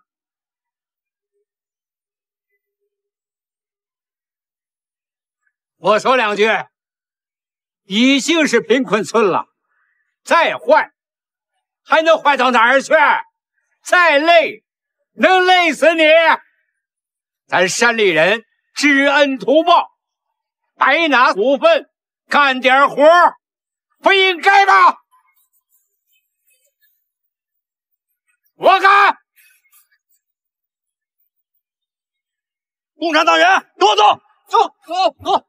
俩人的一番话下来，大家也都纷纷动身，准备跟着蒲全生大干一场。村民们群情激愤，一起投入了艰巨的填土工程。蒲全生和沙鸥以身作则，他们任劳任怨。村民们不怕苦不怕累，一锄头一锄头的挖土，一背篓一背篓的背土。远远看去，长长的背土队伍非常壮观。沙鸥用手机现场直播了这一盛况。可到了晚上，沙鸥对蒲全生的做法感到质疑，他觉得愚公移山根本不是办法。村民们也都是一时兴起。你是在说我蠢吗？五百六十亩地，二十万方土，光靠人力肯定是不行的呀。可你知道扶贫最关键的是什么？不是产业，也不是钱，而是人的精神。我们今天呢遇到了很大的困难，也许明天我们还会遇到很多的困难。可是，如果我们连解决困难的狠心和决心都没有，那我们还能干什么？原来蒲全生是想唤醒村民们脱贫的决心，而完米西人缺的就是这个。第二天，金山矿矿长突然来到村委会，提出要继续履行合同，支持蒲全生开工。蒲全生也是一脸懵。随后，高矿长拿出报纸上有沙鸥署名的文章，文章揭露了环保局不作为，为了搞环保而一刀切的事情。蒲全生看了以后，他埋怨沙鸥这样会连累了姜思维。沙鸥连连解释内容不是自己写的，他只是提供了题材。记者就给他挂了通讯员的名称。这件事情得到省里的高度重视，市委书记找到姜四维，斥责他们不能为了搞环保就把有合格证的一些企业关停。切记啊，不能搞一刀切啊！让省里都批评我们了，这是我工作中的重大失误，我会向你向省委做出书面检证。你是得接受这个经验教训啊。至于上级怎么处理，你得做好这个思想准备啊。我已经想好了，我申请辞去永城的职务。这个职啊，你还真辞不了啊！这就是我请你来的第二件事情啊。最近省里正在落实中央新出台的政策，中央明确规定，凡是不能脱贫、不能摘帽的县级党政主要领导干部，既不能调离，更不能调整。动真格的了。是啊，中央下了很大的决心啊，决战决胜。那好，那我就安安心心、踏踏实实的。站好最后一班岗。陈县长得知姜思维被领导斥责了一顿，他很内疚。姜思维却不以为然，还要和陈县长亲自去尾矿地视察，真是一波未平一波又起。尾矿地的事情刚有着落，胡全生又收到一封律师函，由于资金的问题，之前谈好的飞天丝绸厂要终止合同，不再为种桑养蚕的项目投资。各位村民请注意，我是胡全生，我这里呢收到了一个律师函，是之前呀跟我们有过合作意向的。丝绸厂发过来的，由于这个资金的问题啊，取消了跟我们的合作，我们的投资商跑了，收购蚕丝的商家跑路毁约了。沙鸥怕打消村民的积极性，劝蒲全生先瞒着乡亲们。蒲全生坚持要把这事公开，还要把基地干到底。他用大喇叭向村民如实汇报了此事，号召大家齐心协力战胜困难。村民们听到蒲全生的一番话，二话没说就拎着铁锨来到村委会。蒲全生为此感到疑惑：你们怎么来了？摔倒了。总不能爬到那儿这辈子就不动了，总得有个人搭把手扶起来，继续往前走啊。对啊，不能光说，也不能光听，说完了，听完了，得干了。听了村民们的话，蒲全生深受感动，让大家分头行动挖水渠，尽快把水引到尾矿地。沙鸥也想一同前去，蒲全生却给他派了另一个任务。我这里呢有很多企业的联系方式，你就按照跟飞天丝绸厂的签约条件跟他们谈。这件事情如果办成了，就是你对我。和全村人最大的帮助。随后，蒲全生带领村民在尾矿地开工。姜四维和陈部胜带县委各局的一把手来尾矿地视察。哎，各位好啊！来，哎，蒲全生，挖机都懂了，你这是在干什么呢？我们现在在这里集体学习。学习完了吗？还没有。那正好，我们这些县里的老党员也来旁听一下。没这个必要。有必要。这节课非常有分量，同志们。抽起家伙，帮着干活啊！来来，他们不由分说，拿起工具就投入挖水渠的工作中。胡先生，投资商都走了，你们这么干还有什么意义吗？走了张三，还有李四。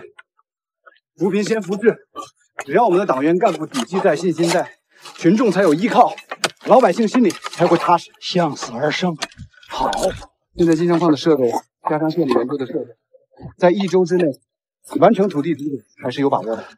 可这问题就在于现在，问题不就是钱吗？你看，哎，农委的、扶贫办的、招商局的，你看，一把手都来了。随后，将四维让县委各局的一把手想办法找到新的投资商。陈步胜表示，找新的投资商没问题，但是投资要先考察签合同。这一轮下来，恐怕桑树会赶不上这一季节。而就在这时，没想到沙鸥把原扶贫队的赵雷请来，江四维也是一眼就认出赵雷。当初是你告了蒲全生一状，就是你吧？哈 哈欢迎！没想到您记得这么清楚，真是惭愧。赵磊当初和蒲全生闹翻，辞了职自主创业。赵磊现在是商贸公司董事长，他决定接手种桑养蚕的项目，大家也都热烈欢迎他来投资。我在完密西村当了三年的扶贫队长，这让我的血液跟这片土地建立了某种联系，舍不掉，忘不了。我还清楚的记得，我走的那天。卜全生背我过的那条小河，他对我说的那句话：“干净也是一种尊严。”你教我的。正直的人都有一颗干净的心，这让我释怀了很多。从那个时候我就在想，总有机会我会回来的。谢谢你，蒲全生，谢谢你，少。谢谢你们给了我这次机会。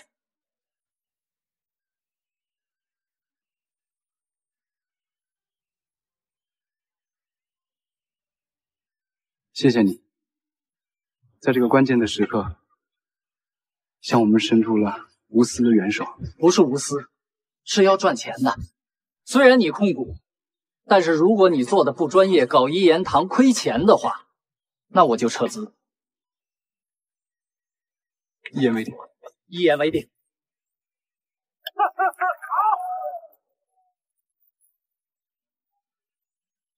眼看着基地一天天建起来，向有亮忍不住埋怨儿子目光短浅。当初向登高因为尾矿地停工，不肯再再为蒲全生卖命施工，如今工程恢复，向登高追悔莫及。向有亮正向儿子发牢骚的时候，蒲全生突然上门。登高也在啊，正好，基地那边呢缺挖机和设备，登高你要得空的话，过去帮个忙。就这么简单吗？那能有多复杂呀？我过来啊，就是为了跟你们说这件事。登高，公司一日一结啊。我等你。哎，不是，别走，别走，借你喝点水。不了，我还有事呢。没想到蒲全生会不计前嫌，主动邀请向登高去基地干活。蒲全生特意请来种桑养蚕的专家杨教授来村里授课。沙鸥在广播里通知每家每户需要派一名代表参加，可到场者却寥寥无几。沙鸥同志，哎。我看咱们村儿对学习科学知识兴趣不大呀。沙鸥征求杨教授的意见，把课程改在了晚上。沙鸥挨家挨户去通知，龙东花借口忙不想参加。沙鸥明确讲明，只有上课才能拿到技术培训证，才能到基地上班，每天就可以挣八十元工资。龙东花没想到会有这么多钱，开心的合不拢嘴，答应带全家老小一起去上课。沙鸥来劝田老八，他看到田老八正在换衣服，还以为对方要去上课。我有病啊！我上课？哎，我是沙干部？你说我从小就是种地的。这种了十几年不会了，得让那专家来教我怎么种地。你说这不是个笑话吗？这话不能这么说。今天这个时代，不依靠科学技术种地的农民才是笑话呢。我看你就是个笑话，一天锄把子没扛过吧？一担大粪没挑过吧？哦，跑这儿来指导我们种地，还脱贫？你说咱俩谁是笑话？哎哎，八十块钱一天的劳务你不要了？我从小看书脑瓜子就疼，八十块钱那不够我看病的。哎，谁去上那破课，谁脑子就有病。哼！老爸，晚上少喝点酒。这时，妖姑从镇上卖豆腐回来。沙鸥想不明白，为什么这么好的机会，村民却不积极。妖姑向沙鸥说出了问题的关键：要是把我和一个专家丢在荒山野岭，最后谁能活？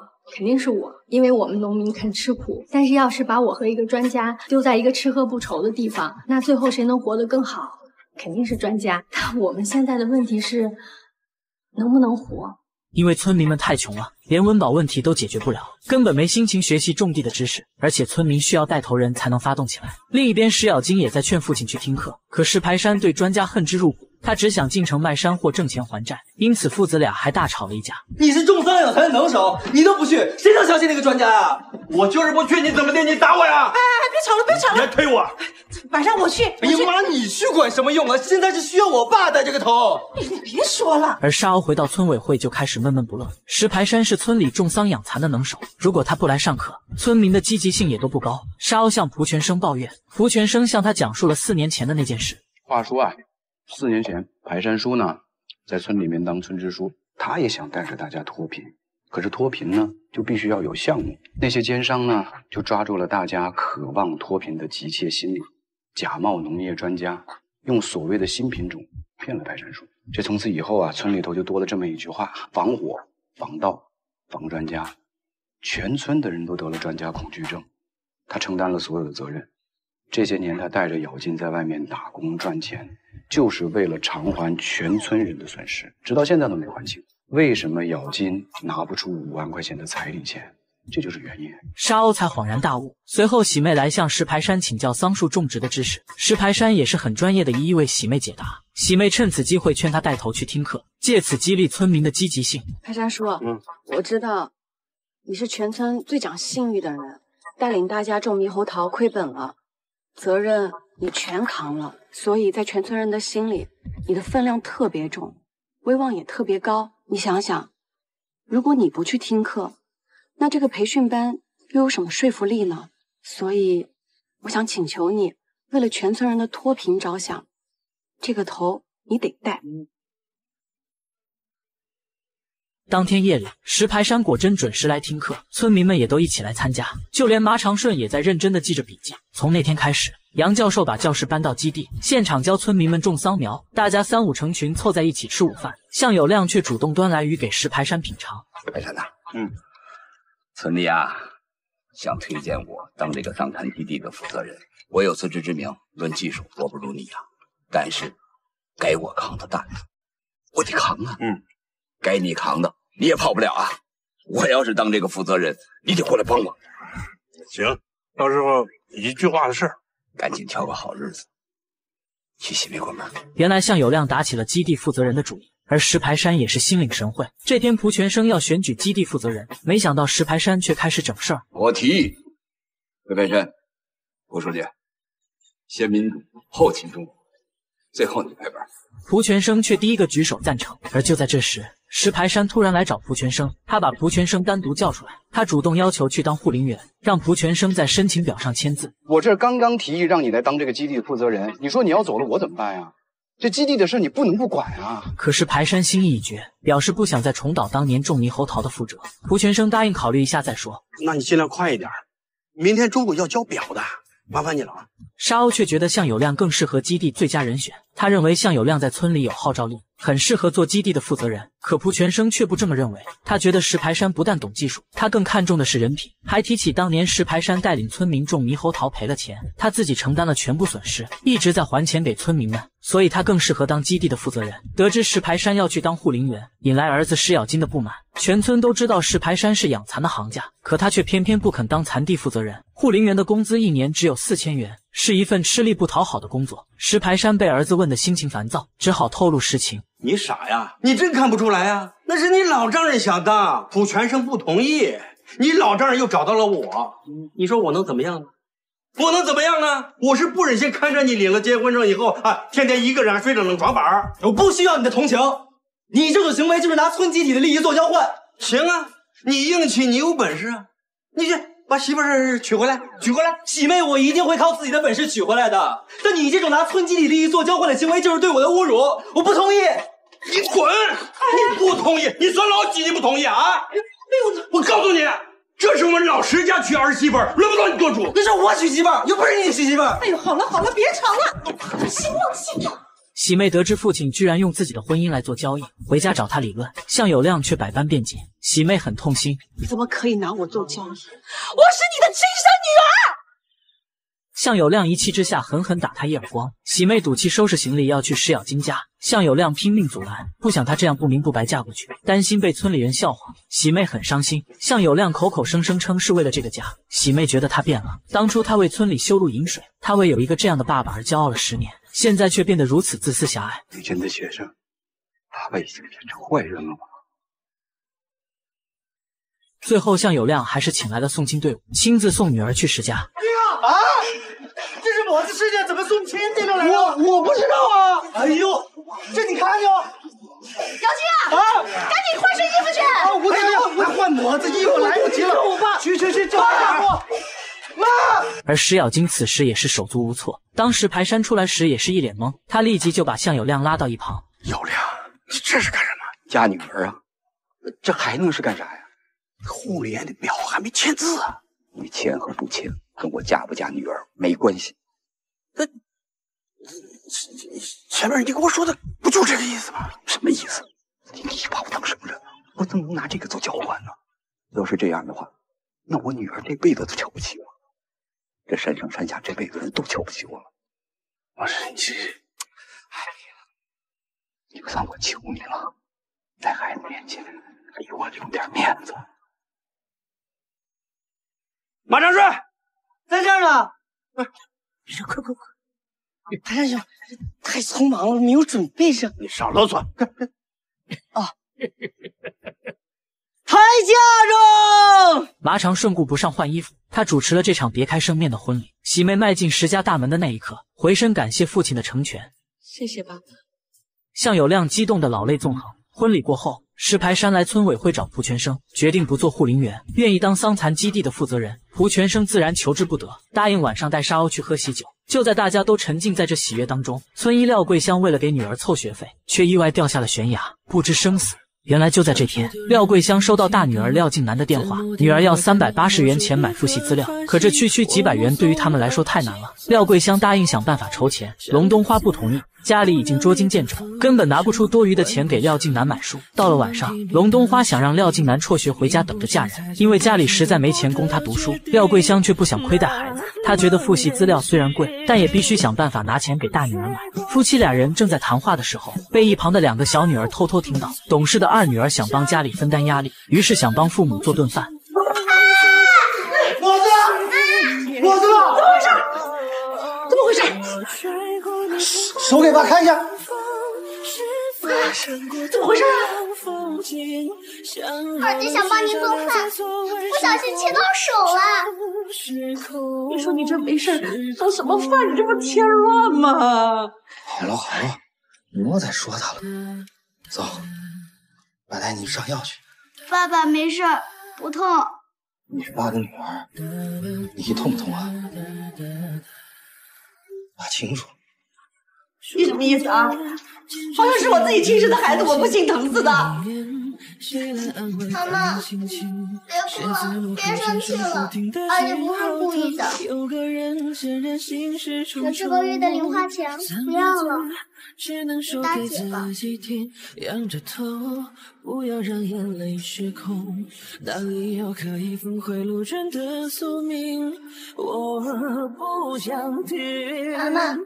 等我长大了，一定给您挣钱，挣好多好多钱。随后，廖桂香和龙东花商量，廖桂香打算明天一早上山采银耳，卖了给大女儿买复习资料。但是那些东西都是长在悬崖峭壁上，再加上廖桂香很多年都没有下崖了，龙冬花不放心，明天要陪她一起去。第二天一早，廖桂香一早就带着龙冬花上山采银耳。廖桂香腰里绑着粗粗的缆绳，顺着陡峭的崖壁一点点向下寻找。正下到一定程度的时候，廖桂香发现了峭壁上的岩耳，她利用绳子的惯例把自己悠了过去，成功踩到了岩耳。此时的廖桂香也很害怕，她不停唱着山歌来壮自己的胆子，但缆绳被刀一样的崖壁一点点磨损，廖桂香却毫不知情。她继续在峭壁上寻找，而崖上的龙冬花焦急万分，一直催促着廖桂香赶紧上去。只见廖桂香又是一跳而跃，她的脚一滑，还好腰上有缆绳的保护，可是缆绳也要被磨损断了。俩人还是毫不知情。在她成功采取到最后一片盐饵时，还没来得及高兴，结果缆绳突然断开，廖桂香被摔下悬崖。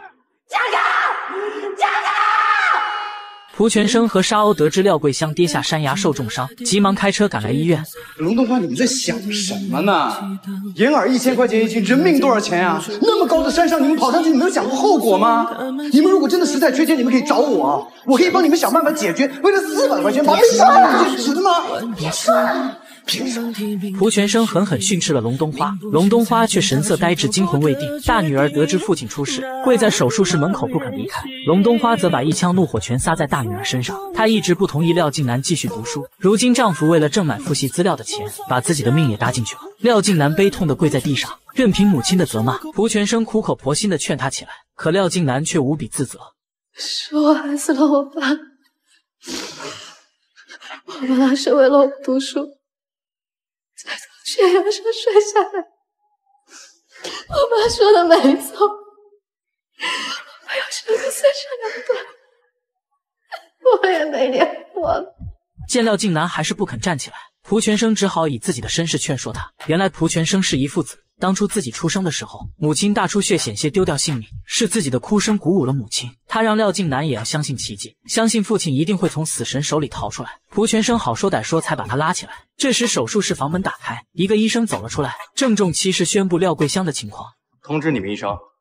病人已经脱离生命危险了。龙东花一听丈夫还活着，顿时喜极而泣。廖静南也松了口气。但由于村医廖桂香没钱看病，医疗卡还被冻结，无法使用。这件事情得到江思维的重视，于是他让蒲全生列席明天的医疗保障会议。第二天，蒲全生准时来参加会议。今天我给大家请来一位列席会议的同志，完米西村的蒲全生。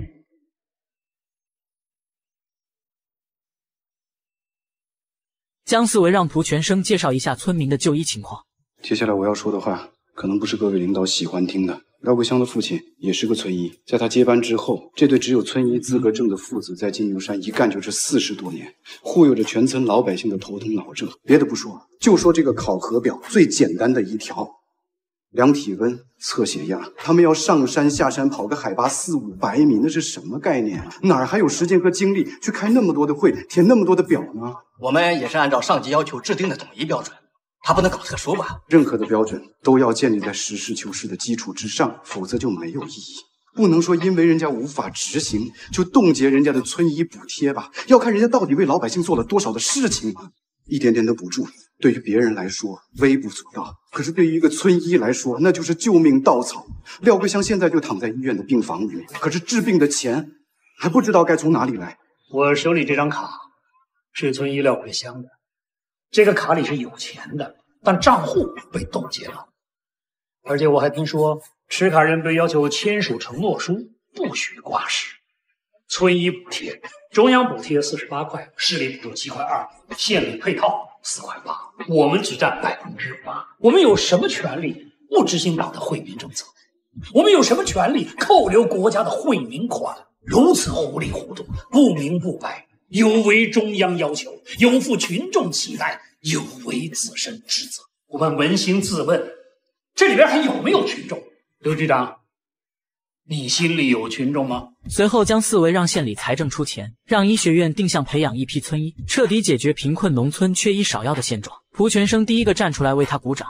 廖静南回到学校写了退学申请，离开了学校不知所踪。蒲全生和沙鸥赶到学校，查看了廖静南写的退学申请单。随后俩人找遍了大街小巷，也没发现廖静南的身影。通过几天的努力，沙鸥终于在一个工厂找到了廖静南。他不想继续读书，想出来打工分担父母的压力。但廖静南学习成绩优异，是村里唯一有希望上大学的孩子。沙鸥给他讲事实摆道理，可廖静南已经下定了决心。这是蒲全生赶来，也是苦口婆心的劝廖静南回去上学。我考上大学了又怎么样？学费在哪儿？生活费在哪儿？我的出路又在哪儿？我们县里的县委书记说了，从今年开始，我们县呢要搞村医的定向委培，考上大学和高职院校的，县里头可以补贴全额的学费和生活费，三万块钱，你愿不愿意？你没骗我吧？你别开玩笑。撒这个谎很贵的。五十个委培名额加起来是一百五十万啊！静兰，这样一来，你担心的问题都解决了。哎，你去干嘛？我要去辞工。他说什么？辞工。廖静南欣喜若狂，立刻跑回厂里辞工。两个月后，廖静南顺利考上了医学院。他收到录取通知书的第一时间拿给父亲看。廖桂香希望女儿毕业后回到家乡工作，报效家乡政府的扶助。廖静南连忙答应。秦宪文把廖静南请到学校，号召学生们向廖静南学习，将来考上大学造福村里。龙冬花和廖桂香夫妇觉得很自豪。杨哥，我怎么想哭啊？我也想哭啊。一直觉得生三个女儿，那是我命不好。有女儿啊，好光荣啊！马长顺这天在家无所事事，一个年轻女子忽然登门。年轻女子名叫罗桂花，是蒲泉生托人给她介绍隔壁村的相亲对象。马长顺得知罗桂花上门相亲，赶忙出来迎接，假装文人满嘴知乎者也，大讲诗词歌赋，在女人面前卖弄文采。可罗桂花根本听不懂。马长顺把罗桂花请进了屋里。罗桂花入座后，开门见山和马长顺谈结婚的事情。开门见山，支书姐姐甚好，甚好。你这个人挺有意思的哈。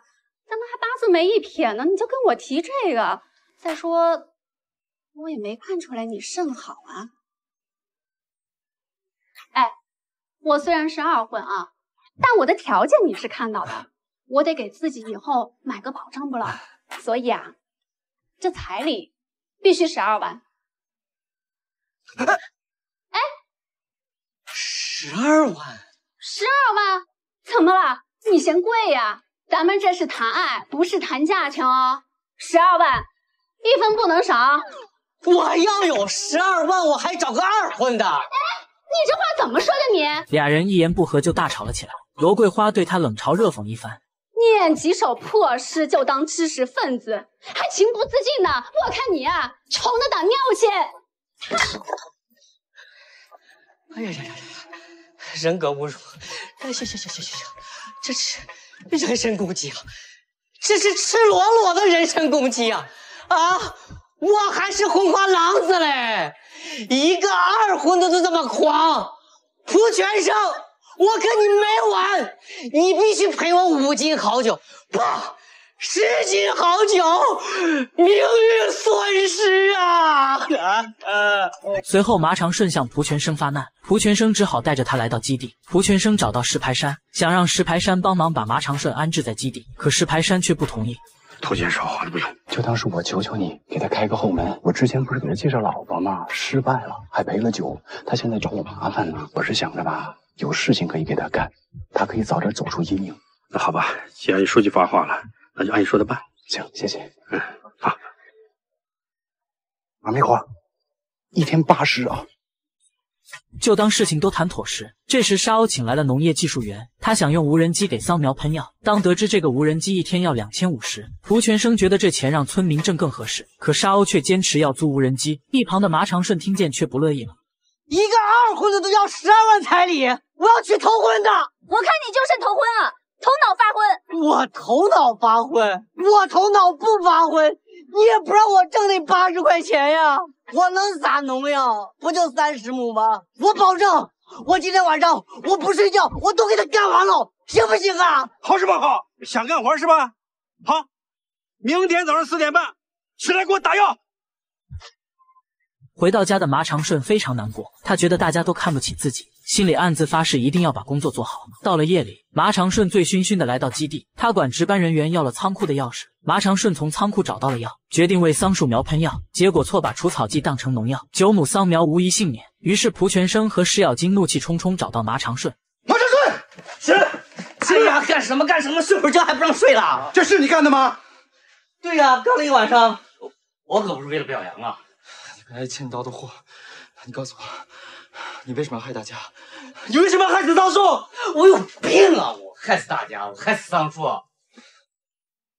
你喷了一晚上，你喷的就是这个是吗？对呀，我喷了一晚上喷砂镜，我还醉过了。睁开你的狗眼，给我看看，这是喷砂镜吗？这是喷沥镜、除草剂。这时沙鸥立马赶了过来，他刚咨询过杨教授，因为是夜晚喷的药，山里温差比较大。所以在温度还没上升到二十八度之前，一定要完成喷淋冲洗，争取太阳出来之前把九亩地的桑苗救活。除草剂啊是酸性的，喷水之前啊加百分之零点一的生石灰，起到中和作用，让它失效。呃，然后再松土，呃，喷这个解毒剂。大家听清楚了吗？听清楚了。十点之前我们必须干完。好，开干，走，快走快。科研立马赶到村委会，用大喇叭广播，村民们拎着家里的盆和锅，一起加入到了救桑苗的工作中。秦宪文还带着学生们来帮忙。谁让你把孩子们带来了？不是我要求的，是他们自愿来的。同学们，咱们装水来。技术员也带来无人机前来增援。经过大家的努力，十五分钟时间就全部清洗完毕。村民们开心的欢呼雀跃。我都说了，我不是故意的，你们为什么还非要让我喝血酒啊？我不想离开这里，我不想离开大家。麻长顺犯了如此大错，按照山里的规矩是要被逐出村外的。村民们一致要求麻长顺喝了酒离开碗米溪。麻长顺无处可去，可怜巴巴向村民们认错，可村民们却不依不饶。这件祸事是我马长顺引起，我认。你们都瞧不起我，都要让我喝血酒，让我滚蛋。好，我喝。妈，儿子不孝，儿子没出息，儿子要滚蛋了。我对不起你，我喝。马上去！就在这时，蒲全生及时赶来阻止。说了戒酒了吗？怎么又喝上了？来，起来。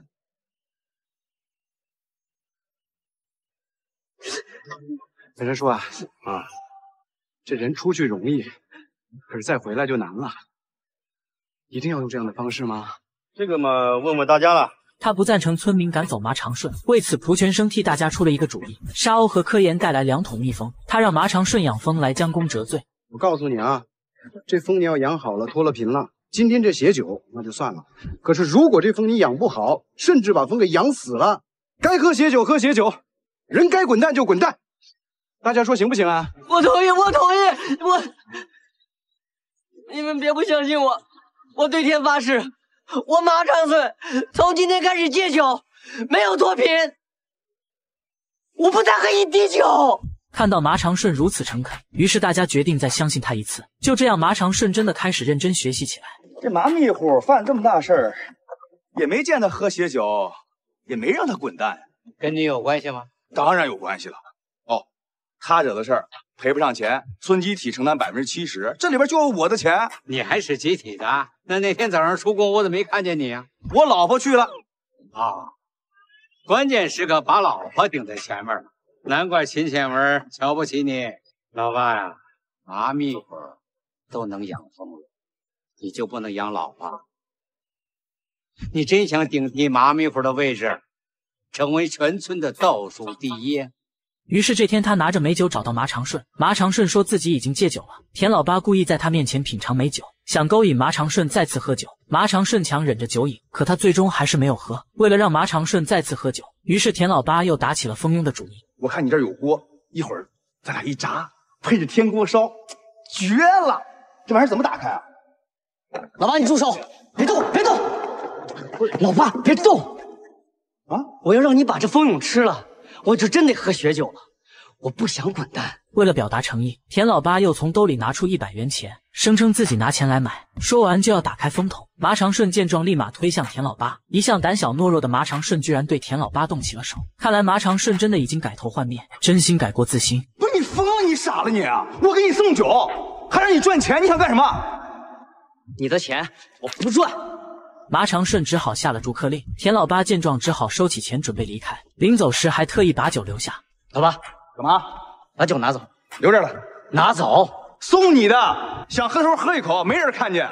这酒你送我了，送你的。这瓶酒就是我的了。你，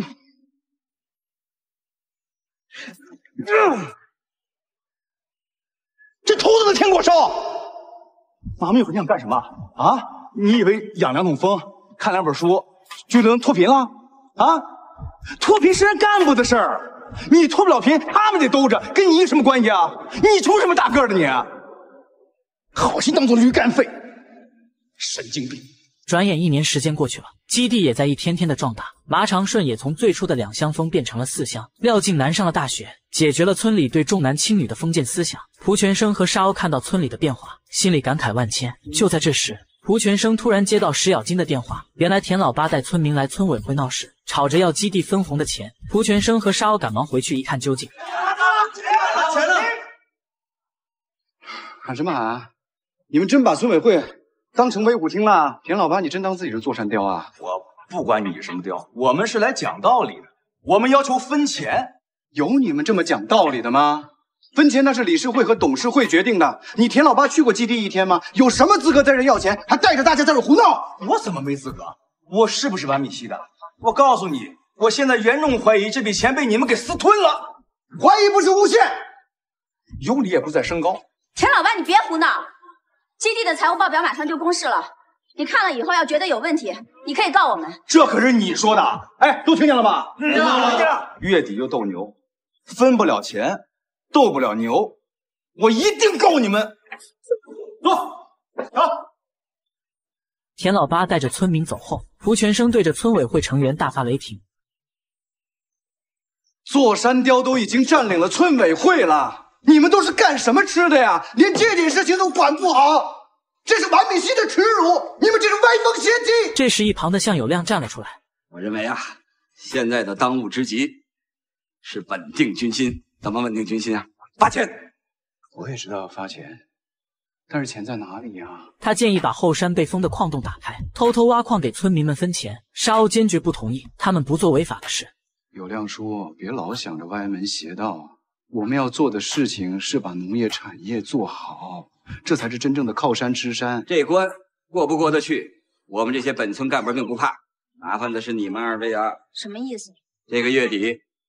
群众评议大会就要开了，如果因为这个事儿没处理好，给你们评个不及格，你们二位可就难看了。很快，基地的账目便公开在告示栏下，村民们唉声叹气，议论纷纷。看来基地是真的没有钱，但大家又都等着分红的钱过日子。这时，田老八走了过来，煽风点火，提议在村官投票活动中打压蒲全生。村官投票活动结束后，蒲全生得票数倒数第一，沙鸥倒数第二。他们俩心情沉重，感觉前所未有的挫败感。没想到他们一心一意为村民，到头来却成了村里眼中最差的村官。我是真没想到，这结果跟有亮叔说的一模一样，把您评个倒数第一，沙鸥姐评个倒数第二，他们怎么能这样呢？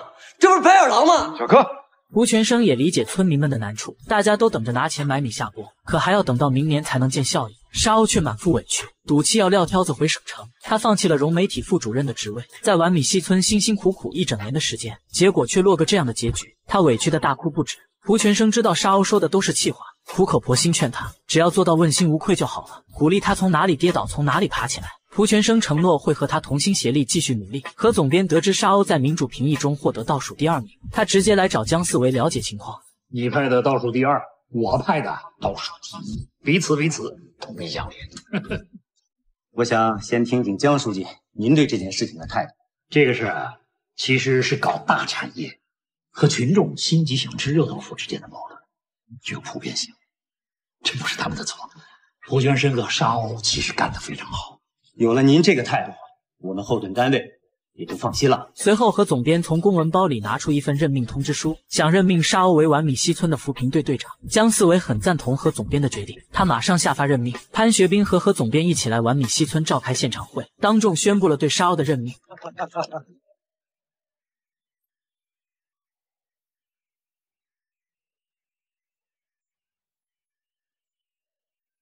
要想进步，先评倒数，真就应了那句话：落后越多，进步空间就越大。不是，你们俩讲什么呢？啊，不要开小会。这这，我冒昧的问一下，您和县里的领导知道这次民主评议的结果吗？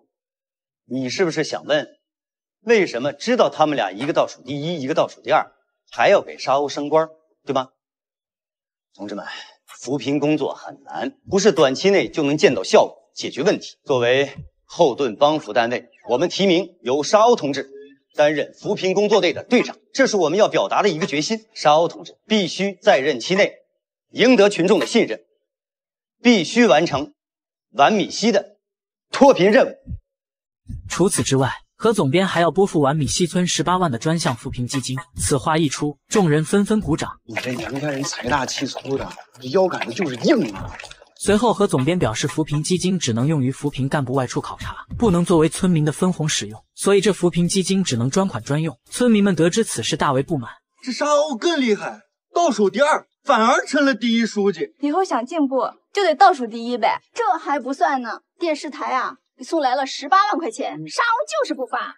竟然有村干部和他看着顺眼的人出去考察，考察什么呀？就是旅游了。你说。我们也是村子，跑去别的村子有什么好看的呀？哎，就是了，还要跑这么远的路，又要坐火车，又要坐飞机，还要住酒店，这些要花多少钱呀？是呀，把钱都让他给花了。另一边的田老八要去大闹村委会，妖姑拼命阻拦。民主评议给他俩评了个倒数第一、倒数第二，沙鸥不但没事还升官了。哎，行，你升官就升官了。现在人家电视台把钱送来了，他捂着不分，还搞什么旅游？他以为钱是他自己家的呀？什么东西！老八，你不能这么说话。你拍着良心问问自己，你借着斗牛的事儿，你串通大家给人家打低分，你就已经不对了。你要现在再这么闹，你可真不占理。你懂个屁呀！田老八气不打一处来，把一腔怒火全撒在妖姑的身上，嫌弃她没孩子。妖姑羞愧难当，哭着跑回屋里。不久后，有人在布告栏写了打油诗，讽刺蒲全生和村干部不作为，还指责沙鸥拿钱去旅游。谁写的？敢承认吗？站出来！这是诽谤，是要负法律责任的。莫看我，不是我写的，这韵脚我左手都比他写的好。科研见没人承认，他想接下来。别撕！这时蒲全生赶到制止了他。您看这上面写的，这影响多不好啊！好不好的，反正那么多人都看见了，留着吧。蒲全生经过一番打量后，已经猜到幕后之人，但他并没有揭穿，并在打油诗角落签下自己的名字。写完就转身离开。这写打油诗的不敢留名，这挨骂的也倒落了个款，立分高低哟。我宣布啊，举报有奖，我个人出五百块钱，不八百。八百块钱，八百呀！沙鸥得知打油诗事件，非常生气，他想报警来处理此事。可蒲全生不想激化矛盾，只要你不管他，所有热点的存活期不会超过四十八小时。我们还有更重要的事情要做。不久之后，沙鸥和蒲全生带领村民去长三角的农村考察学习，村民们大开眼界，受益匪浅。蒲全生回来后也是信心满满，要把完米溪建成雍城县第一村。对于我们把完米溪干成雍城第一村，没有信心的，那么我们来听一听孩子们是怎么说的。接下来，让我们有请完米溪的未来隆重登场。随后，幺姑和合唱团的孩子们换上漂亮的民族服饰，他们走上台表演，为大家演唱节目《种太阳》。小溪里儿童合唱团汇报演出现在开始。第一个节目，请听合唱《种太阳》。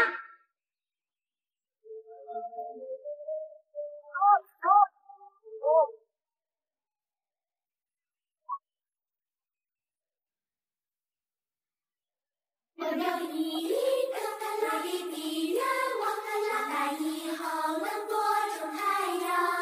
阳，一个一个就够了，能结出许多的许多的太阳。那个送给南极，那个送给送给北冰洋。挂在挂在冬天，一个挂在晚上，挂在晚上。村民也是为他们这天真的一幕所感，田老八更是情不自禁流下了眼泪。老爸，你怎么哭呢？有风，没风，是眼不抗湿嘞。蜜花，我第一次觉得我老婆真漂亮。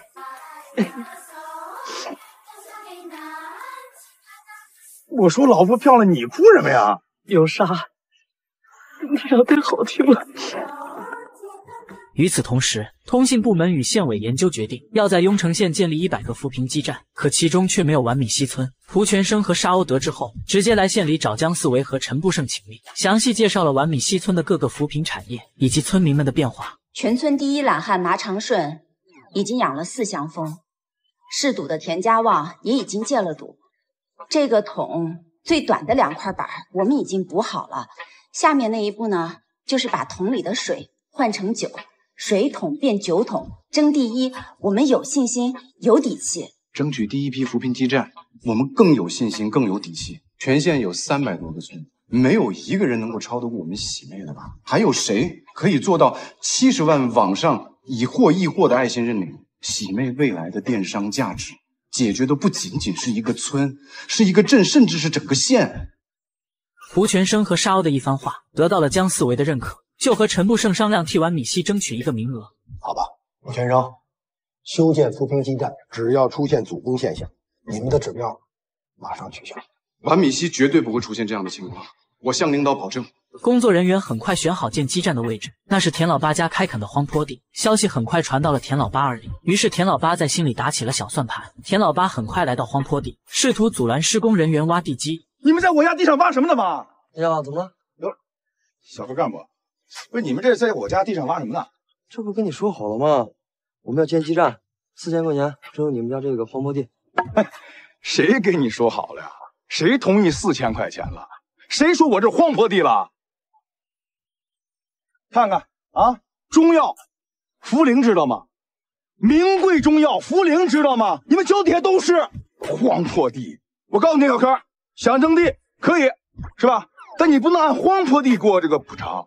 按经济作物地给我补，我打听了，就按我这个面积啊，赔四万八。然后你们该怎么干怎么干，好不好？田老八狮子大开口，施工队拿田老八无可奈何，只好停止施工。蒲全生闻讯赶来，这是他求爷爷告奶奶求来的项目，没想到真就出现了阻工的现象。他带领工人继续干活，田老八直接耍起了无赖。蒲全生好说歹说劝田老八，可田老八就是油盐不进。随后蒲全生吩咐小柯用手机录像，这个地方是阴坡地，日照不足。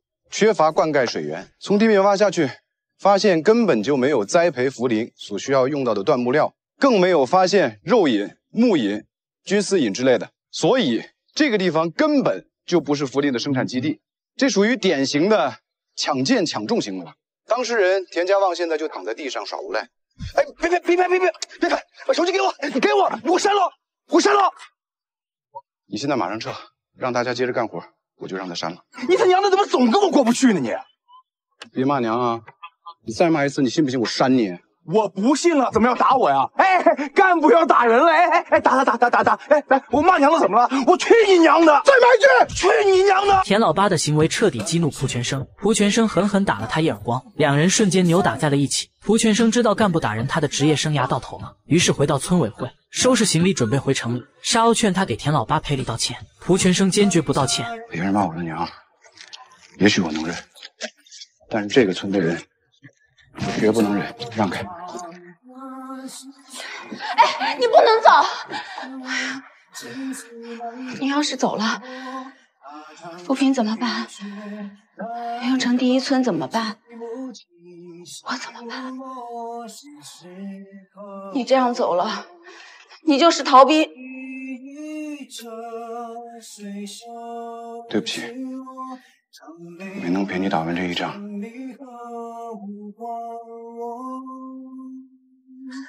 全生，你站住！你说过，干扶贫要有一颗爱他们的心。你的心在哪儿呢？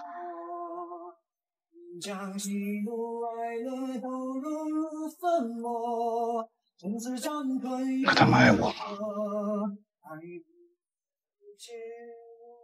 一心为村民办事的蒲全生，在被田老八辱骂后，彻底寒了心，毅然决然地离开完米溪。惹阿公得知此事，赶了过来，他替田老八向蒲全生赔礼道歉，但蒲全生已经彻底死心，他想回去照顾母亲。这时，惹阿公忽然冒出一句话：“我给家相赔礼，行吗？”有些事你还是忘了吧。惹阿公忽然冒出的一句话，也是让人摸不清头脑。蒲全生骑车扬长而去，随后惹阿公来到村委会，用大喇叭广播了完米西多年的秘密。大家注意了，我是惹阿公，有件村里的往事，今天必须要和大伙儿说一说。三十多年前，第一批来我们完米溪扶贫的工作队队长叫胡家相。胡家相第一年来的时候就帮我们修建了，到今天我们还在用的灌溉水渠。第二年，他要。炸山修隧道，修隧道是为了帮我们解决大家出山的难题。当时我的思想保守，我认定金牛山上万物皆有灵，在养育了我们祖祖辈辈的金牛山和完米溪，开山放炮、拦河筑坝，是破坏了神山圣水，必须停。于是我就带领大家干了一件事儿，足工。当我们冲到现场的时候，正赶上他们放完炮，在做清理排查工作。田老八的父亲田怀安冲在了最前面，他一把就夺过了施工人员手中的钩子。可就在此时，胡家祥发现上面的大岩石有松动。随时都有掉下来的危险，便冲了上去，一把把田怀安推开。就这样，田怀安脱险了。可大石头把蒲家巷砸倒，我们的蒲队长就这么牺牲了。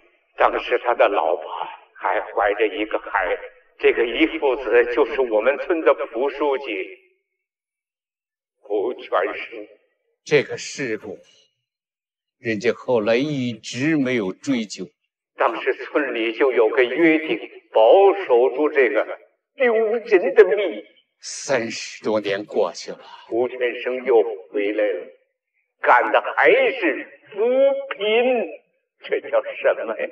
这叫以德报怨，是我们老一辈害了人家的父亲。可今天。小辈儿又要害人家的儿子，你们给我说说，这叫干着什么事儿？我们不能够再对不住顾全生了。谁要是再这么干，那就叫不识好歹、不要脸。而另一边的蒲全生并没有马上离开，而是来到了父亲的坟前，向父亲倾诉心中的郁闷和委屈，答应这件事处理完以后就把父亲带走，离开这伤心之地。我会承担一切责任。等到事情处理完了之后，我带你回家。石排山猜到蒲全生会来到父亲坟前，于是便带着沙鸥来找他。此时的蒲全生早已哭成泪人，一往无前的唯一力量，就是你深深的爱着他，就是这句话激励着你来玩米西的，对吗？你爸爸是第一代扶贫队员，现在你也干扶贫，子承父业，真光荣。石排山赶忙跑了回去，将蒲全生还在父亲坟前的消息告诉了阿公。阿公。真要这么干吗？蒲全生去意已决，该说的你在大喇叭里也都说了，能留得住吗？我想把大伙的脸找回来。上山。随后惹阿公叫上众人，让村民抬上寿材上山。他们来到蒲家巷的坟前。家乡啊，三十年前我们对不住你，你要离开这里，我们没脸拦着。我把我百年之后用的寿材抬来了，现在给你回家路上。惹阿公要把自己的寿材送给蒲家巷，让蒲全生把父亲带走。一鞠躬，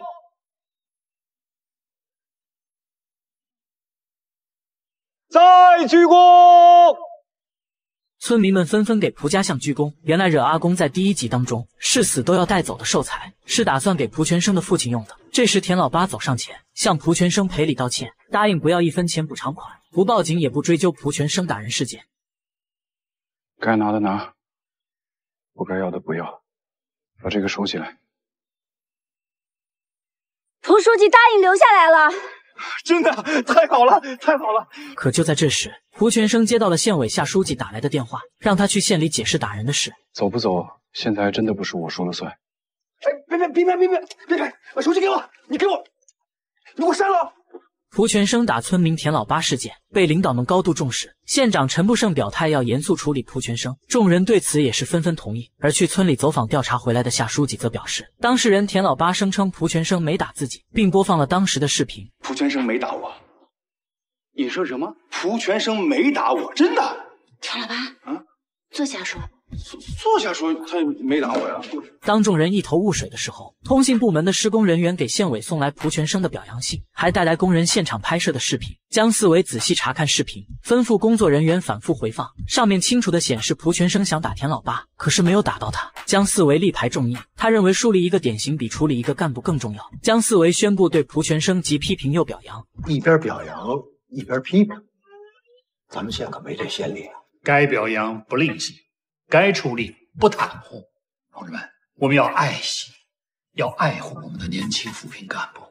他们为了扶贫，受了这么大的冤枉，大家不心疼吗？啊！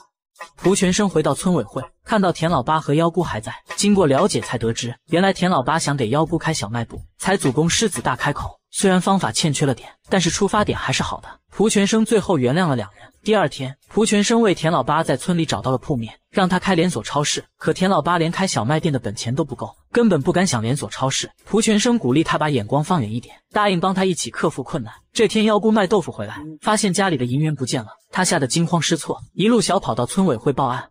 别着急，喝口水。跟我说说家里什么东西被偷了，大概损失有多少？嗯，大概一万多块钱吧。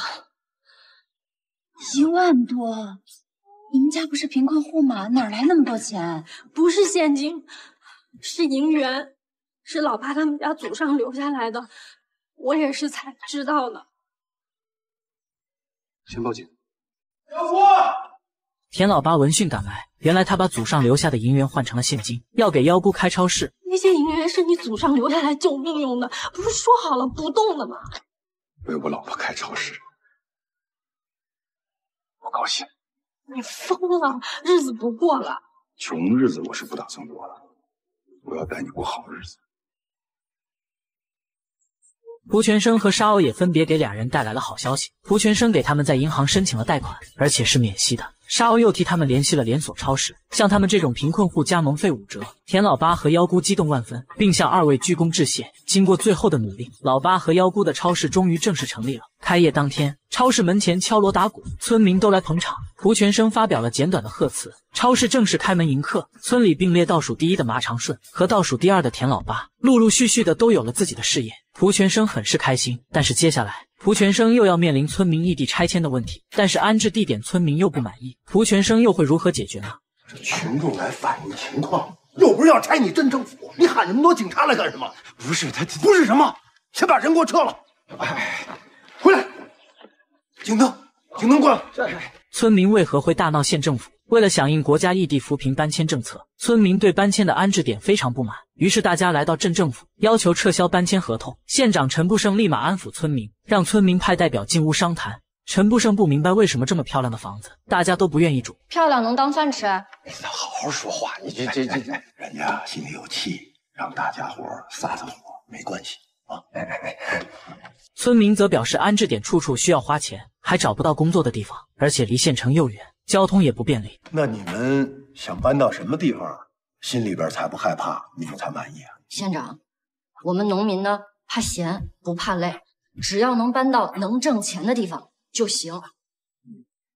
怕闲不怕累，这句话我记住。当然了，如果能搬到离镇上啊、县城更近的地方，那更好，方便找工作呀，好挣钱。这位女同志，你好像很了解情况。她是凉水村的田慧，丈夫吸毒把家给败了，自己带个孩子呀，生活特别不容易。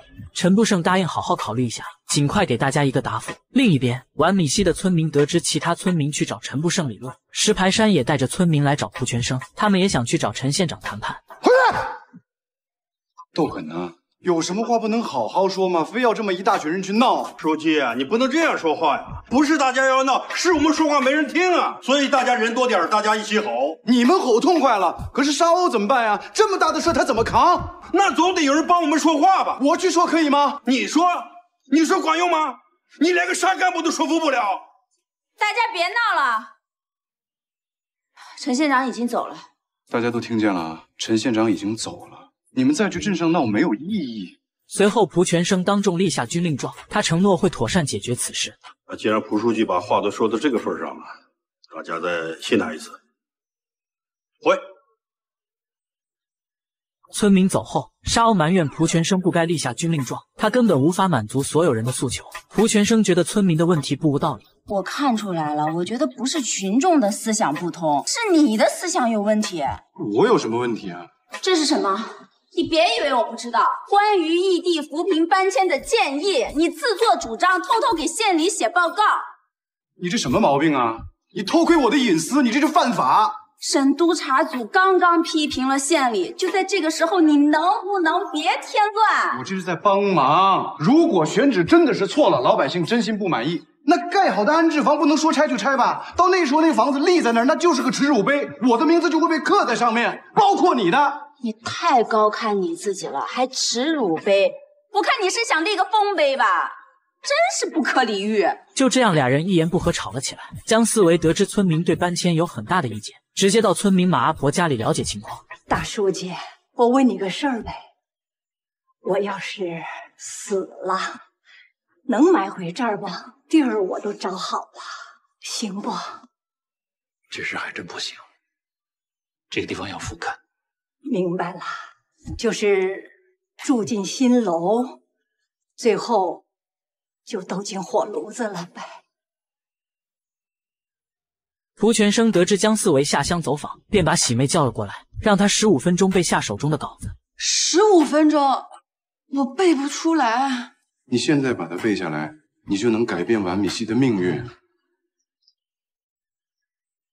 喜妹带着村里的姑娘们跳摆手舞，欢迎江四维。她一字一句把蒲全生写的那份请愿书背下来。她代表村民不想异地搬迁，担心失去最美乡村的荣誉，丢掉了民族最美的文化和历史。随后，江四维来找蒲全生问责。他早就听出喜妹那一番话出自蒲全生之口，蒲全生对此供认不讳。有话就应该直说嘛，找什么代言人呢？江书记，我错了，异地搬迁是扶贫工作队负责的，那我说的话。算不算越位啊？你怎么变得婆婆妈妈的了？现在我答应了沙鸥，我不管这个事情的。你憋得住吗？憋不住。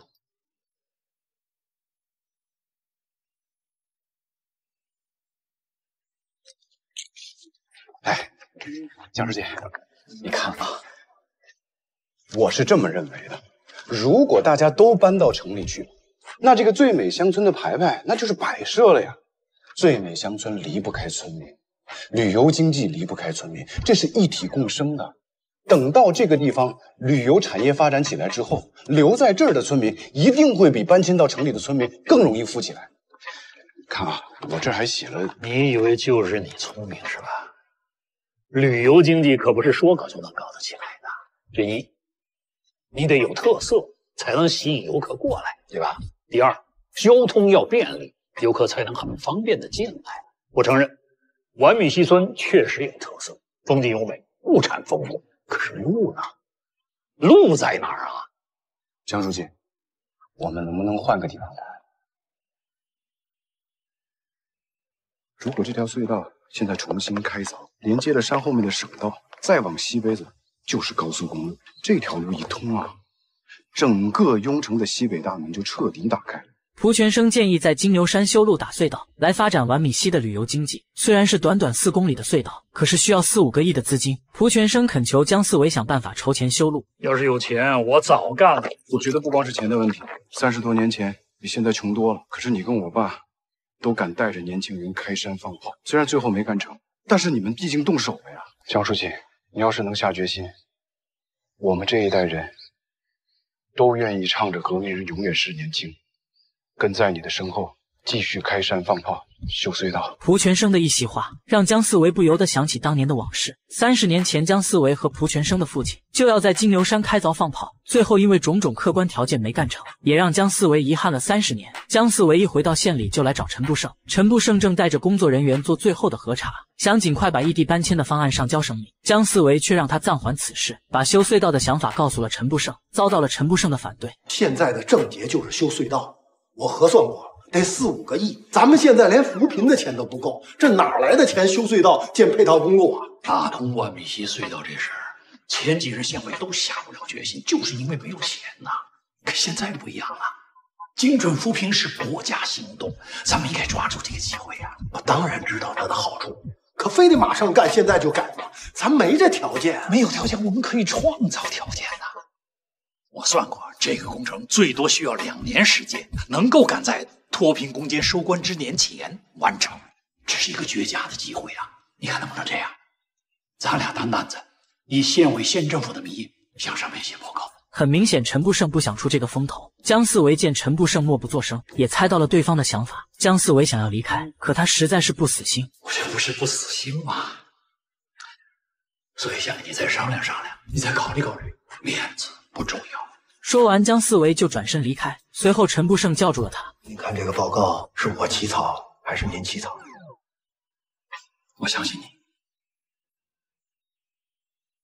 姜四维修隧道的消息很快传到纪检部门，雷震江收到群众举报信，举报姜四维搞形象工程，而且贫困户不减少反而增多。他奉命带省督察组来找姜四维调查了解。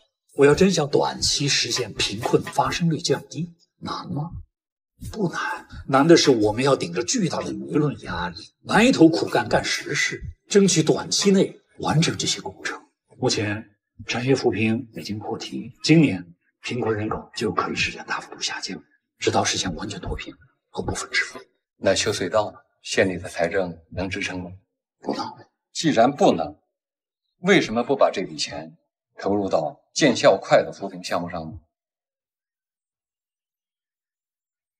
但姜四维不死心，随后他找到了市委书记，想让胡书记帮忙申请项目资金。对于修这条隧道的重大意义，你不说，大伙都明白。可是现在是关键时刻，人家正在到处调查你的政绩工程，这个时候你搞这个，你就不能等等再说吗？都等了三十年了，胡书记，这个是关系到县水库两岸几个乡镇、十几个村子、好几万人的脱贫致富啊！真的不能再等了。可是要干，得需要四五个亿。你拿不出来，我这也是囊中羞涩呀。做了一个资金计划，这里边有一部分当然是我们县里要自筹的，可是大头还是得请你帮忙，向省里和中央说明情况，申请相关资金。好啊，你这是有备而来啊，连花园的清单你都列好了，就等着我替你哭穷了吧？因为你面子大呀，钱给少了，人家也不好打发你。姜思维。蒲全生得知江思维被调查，对此极其不满。都是你惹的事，现在江书记都要配合调查。我告诉你，如果江书记因为这件事情受到了处分，我看你以后还有没有脸在雍城待下去。喂，潘书记，我刚接到通知，省督察组啊要去你们重桑养蚕基地视察，可能还得询问一些相关事情，你们做好准备啊。得知督察组要来村里调查，沙鸥立刻带蒲全生赶过去。一会儿少说话，管住嘴，别惹事。少说话解决不了问题。雷震江质问蒲全生：去年的贫困户没有减少，反而增多，为什么他们没有被县里批评警示？因为他们很清楚，我们村今年一定会比去年好。这就是眼前利益和长远利益的关系。蒲书记，领导问你什么呀，你就回答什么，你别激动哈。我没激动，我在实事求是。批评警示诫勉能让这些桑条在一年之内就长这么高吗？能养蚕吗？我就是在实事求是。这贫怎么脱啊？坐在办公室里吹着空调，喝着茶，看着电脑，他就能脱贫吗？领导，他的意思是脱贫需要耐心。是是。修建完米西隧道的事，江书记跟你们提起过吧？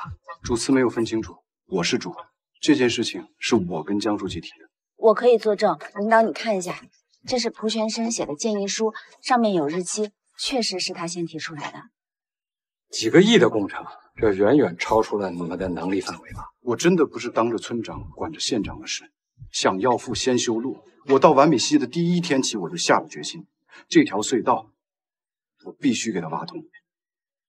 这时石排山来找蒲全生签字，他看见蒲全生被督察组调查，心生不满，于是就替蒲全生打抱不平。我说你屁股咋就那么沉呢？啊，你往那儿一坐就起不来了。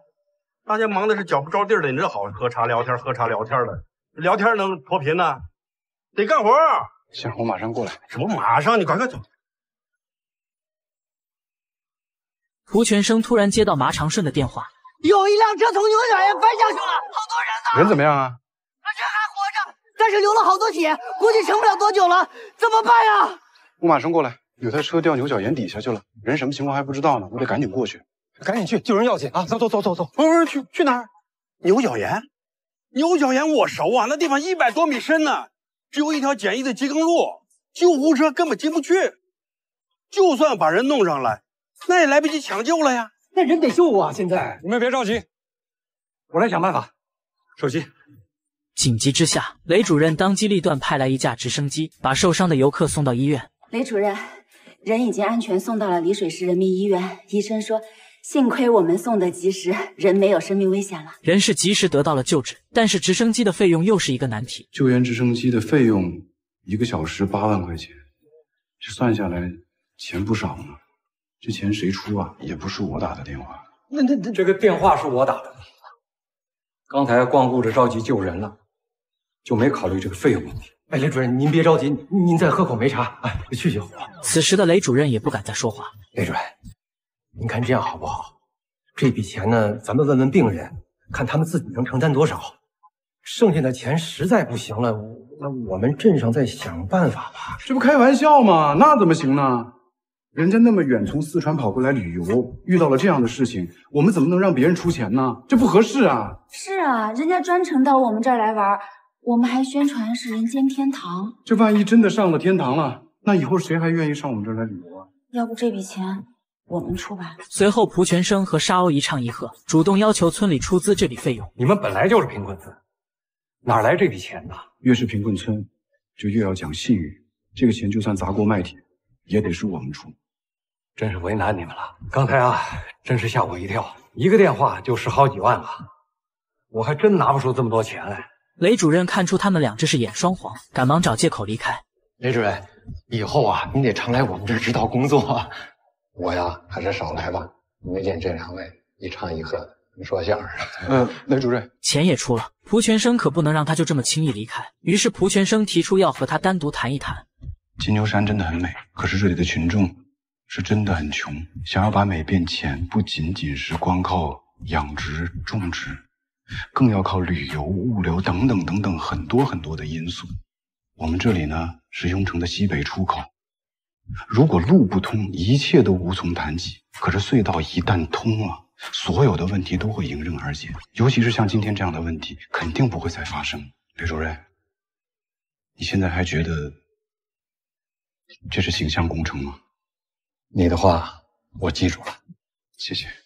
想要修建隧道，雷主任是突破口的关键。蒲全生会如愿以偿的拿到相关资金吗？胡书记，经过我们巡视组反复的调查核实，得出的结论是姜思维同志没有搞政绩工程，但是部分村贫困发生率不降反升也是事实，要通报批评。雷主任带督察组成员多方走访调查，姜四维得到大家一致好评。雷主任如实向胡书记做了汇报，但贫困户不减少反而增多的问题，要通报批评姜四维。但修隧道的事情，雷主任明确表示支持的态度，并向上级附了一份情况说明。但是能不能立项，雷主任也不敢打保票。雷主任，你为什么要这么做呀？如果我没理解错，你这是在帮他呀？按章办事是纪律，但我觉得。还是要旗帜鲜明的为那些真扶贫、扶真贫的干部撑腰鼓劲儿，不论是在政治上、工作上，还是在生活上，都要高看一眼，厚爱一分，能帮的尽量帮。魏主任，谢谢你啊！看来你的觉悟比我高啊。哪里？另一边，改邪归正的马长顺得到了田慧的青睐，俩人互生情愫。当年你可真是一朵花，那时候。你每次从我门口经过，那就像一朵花飘过去一样，走出去很远很远。我还能闻得到你的香气。而他们两人的事情也被惹阿公得知，随后惹阿公找到龙冬花，拜托龙冬花帮马长顺找个媳妇，答应事成之后免除他们欠的酒钱。龙冬花一听，满口答应。惹阿公走后，廖桂香则埋怨龙冬花：花花。你为了阿公这些酒，你怎么什么事情都敢接哟？那怎么不敢接喽？你知道在赶花的那一天啊，我在麻咪虎家给他治老寒腿。嗯，那惠妹子一进屋，麻咪虎就把我给轰出来了。嗯，你知道是为么子？为么子？那麻咪虎跟惠妹子他们两个对上眼喽。你别瞎胡扯了，他们两个差着辈分嘞。哎呀，花花，哎，停停停，听我说，花花。那他们两个人的辈分，那是八竿子打不着的辈分。他们没有血缘关系，那婚姻法都是支持他们的。这马迷糊要是有这个色胆，那阿公不把他狗胆给扯出来给你爆了，你信不信啊？再说二十斤酒，赊得账一笔勾销，哪里来这么多的好事？哎呦，我的天！花花，哎呦，让开让开！第二天，龙冬花强迫给马长顺找了相亲对象，身材挺魁梧啊。说什么呢？比喻夸张噻，那身材魁梧才能把猪养好，以后好生养嘛。我听说你是个二婚，还带了一个孩子。那个，我告诉你，我还是个红花郎子，我觉得我们俩在一起不太般配。你装什么装呀？你不就是那个名声在外的懒汉麻咪虎吗？你好意思跟我说般不般配？瞧不上我是吧？我还瞧不上你呢。就这样，好好的一场婚礼被马长顺成功搅黄。马长顺的行为彻底激怒龙冬花，被他狠狠训斥了一顿。你说你是不是故意？你是不是故意的啊？马长顺，还红花郎子呢你啊？你还找黄花闺女？我看你找个西兰花吧你。那西兰花也是花呀。就刚刚你给我介绍的这个呢，是上一个，脸盘子这么大，还有麻子，那是葵花喽。马长顺，你自己什么条件？你心里不清楚吗？这找人结婚过日子，能过日子，能生娃子，差不多得喽。你到底要找个什么样子的？你还有没有候选的？没有候选的，我回去了啊。呀，我过来，过来，坐，坐。我告诉你，我今天要是不给你找到对象，就枉为我金牛山第一媒婆的称号。坐着，不许走，等我回来。马长顺被迫相亲，直至到了晚上。正当他打算要回家的时候，马长顺在人群中看到了田慧。原来他背着英子去看钢火烧龙。马长顺当机立断返了回去，他主动请缨上台去表演。他是村里的懒汉，为了心爱的女人彻底改变自己。得知田慧要带着英子来看钢火烧龙，他主动请缨上台去表演。只见他捡起地上的龙头，然后大声呵斥道：“金牛山完米西马长顺下场。”这是麻长顺的绝活，他赤膊上阵，举着龙头，在钢花飞溅中穿梭。田慧和英子看得入了神。表演结束后，麻长顺背着睡着的英子回村。田慧对麻长顺刚才的表演赞不绝口，两个人也是越聊越投机。就这样，麻长顺把田慧和英子送回了家。刚要离开的时候，结果被惹阿公堵住。阿公，这么晚了，您在这乘凉呢？天黑，我不放心坏妹子，怕她遇上坏蛋。阿公，今天晚上耍跟我上龙累了，有话明天说吧啊。哎，你以为会玩钢火烧龙，你就是一条龙啊？你不是龙，你是虫。我再见你，跟他在一起。你见过我打天老八吧？就你，我能把你拆了。滚！你要是真答应，你就打喽。麻长顺敢怒不敢言。为了感谢昨天的钢火烧龙，田慧一早带麻长顺上山找野蜂。田慧凭借经验很快找到蜂王，他把蜂王收集到蜂箱，然后俩人静等蜜蜂往蜂箱子里钻。麻长顺借此机会向田慧表明心意：一只蜂王一周也可以产卵一千到两千粒，那才会弄十个蜂王，那咱就儿孙满堂了。难怪你一直打光棍，原来你想找的女人。不是会生孩子的，是会生蜜蜂的。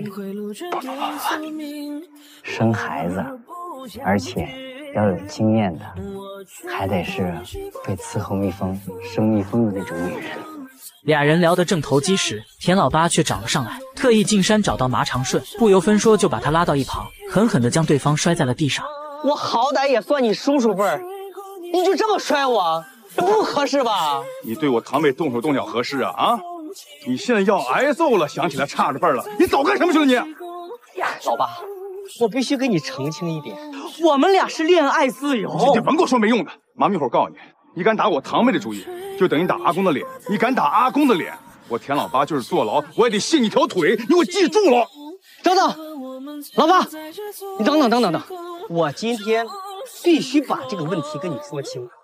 识字吗？婚姻法，你听好了啊！第二章第五条，结婚必须男女双方完全自愿，不许任何一方对他方加以强迫或任何第三者加以干涉。我们俩是光明正大，你听明白没有？我听明白了。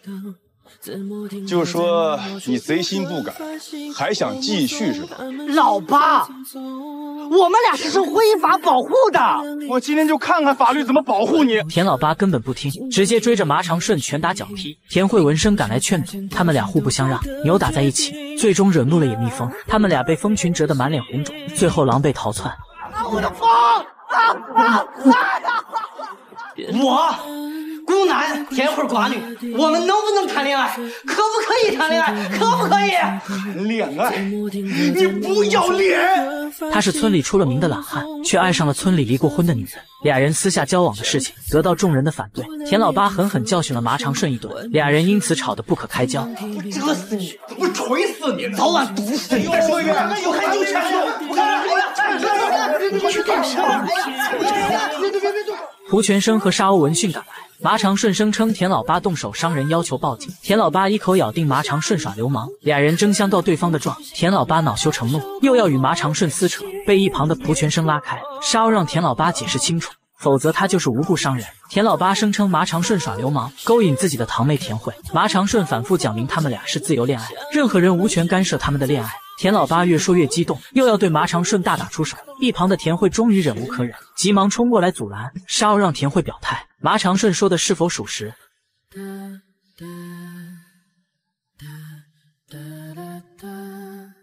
是真的。慧儿，听听，听听，慧儿，你这不可以乱讲。我们俩就是在谈恋爱。田慧当众承认她喜欢麻长顺，沙鸥支持他们俩自由恋爱，还要控告田老八故意伤人。田慧回到家，惹阿公狠狠教训了田慧一顿，逼着她和麻长顺分手。如果你一定要嫁给麻长顺，我就去跳牛角岩。随后，田慧来看望麻长顺，麻长顺正在写上访信。他没想到今天田慧当着众人的面会帮自己说话，这让麻长顺很是感动。他表示田慧只要愿意嫁给自己，他承诺会让田慧和英子过上好日子。但田慧的回答让麻长顺很伤心。我们俩算了吧。另一边，胡全生正在召开村委会，众人正在商讨田老八打人事件。沙鸥坚持要报警处理。就在这时，麻长顺突然赶来，不许报警！为什么不许报警？我刚才跟田老八就是打赌闹起来了，一时冲动说了几句气话，不好意思。你在廖桂香家可不是这么说的。刚才就是想吓唬他一下，好把我输了两瓶蜂蜜赖掉。我知道打赌不对，我做检讨。马长顺，你为什么要撒谎？你说过你喜欢田慧，难道你的爱情不要了吗？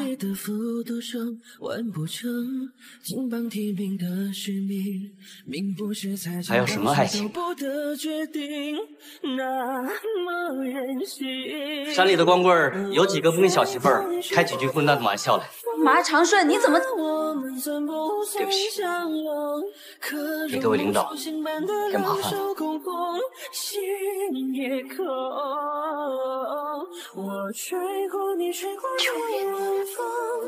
别报警，更不要上访，不然我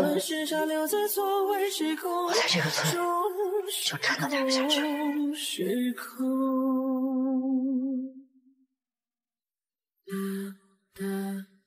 麻长顺伤心离开，离开村委会的麻长顺心灰意冷，他不敢再奢望爱情。最终，经过麻长顺的不懈努力，终于拥有了二世相逢。可让他遗憾的是，自己还是没有老婆。阿公曾经说过，只要他和田慧在一起，就打断自己的腿。麻长顺表示，只要能娶田慧，他宁可被打断腿。可现在连被打的机会都没有了，因为他要离开完米西村了。就在这时，麻长顺远远看到田慧躲在一边。三个字，只能说给自己听，仰着头，不要让眼泪湿。走啊！哪里有可以峰回路转的宿命？我不想听。我吹过你睡过的晚风。我马长顺一定会把钱挣回来，绝不让完美西的人小看我。经过省委领导多方奔走，完米西村隧道工程终于批复下来。江思维很开心，他第一时间把蒲全生和沙鸥叫来，让俩人做好村民征地的思想工作。农民对土地的眷恋和情感，那不是三句两句话能说清楚的。所以啊，你们要有充分的思想。这件事绝对不能掉链子。我就算是掉皮掉肉，也绝不会掉链子。我也是。科研在村里贴出修隧道的喜报，村民们奔走相告，都夸蒲全生有本事。而蒲全生也把这个喜讯第一个告诉了父亲。完米溪隧道又要重新动工了，爸，你高兴吗？你的梦想就要实现了。蒲全生回到村委会，就研究起了征地的问题。隧道通过的地方就有二十一家村民的地，而其中就有惹阿公家。大家一直决定先从惹阿公家下手。先把最硬的骨头砍掉，这让剩下的二十家就一帆风顺了。柯岩主动要求去找惹阿公谈判，争取让阿公当领头羊。有点不适应了，小柯变了。还是那句话，扶贫既是我们改变世界，也是世界改变我们。还有小柯，我不同意。阿公啊，您是德高望重的乡贤，您得带头支持修路修隧道。这是脱贫之路，致富之路。你们的致富就是把地都弄没了，是吧？地没了，我都不知道将来吃什么、穿什么，我做什么。我就是个农民，我别的什么都不会，我只会种田。农民种地是根本。你劝别人，我管不着。我呀，不同意。征地修路，人人有责。您不能倚老卖老啊！年轻的时候就反对修路修隧道。这三十多年过去了，怎么一点改变都没有呢？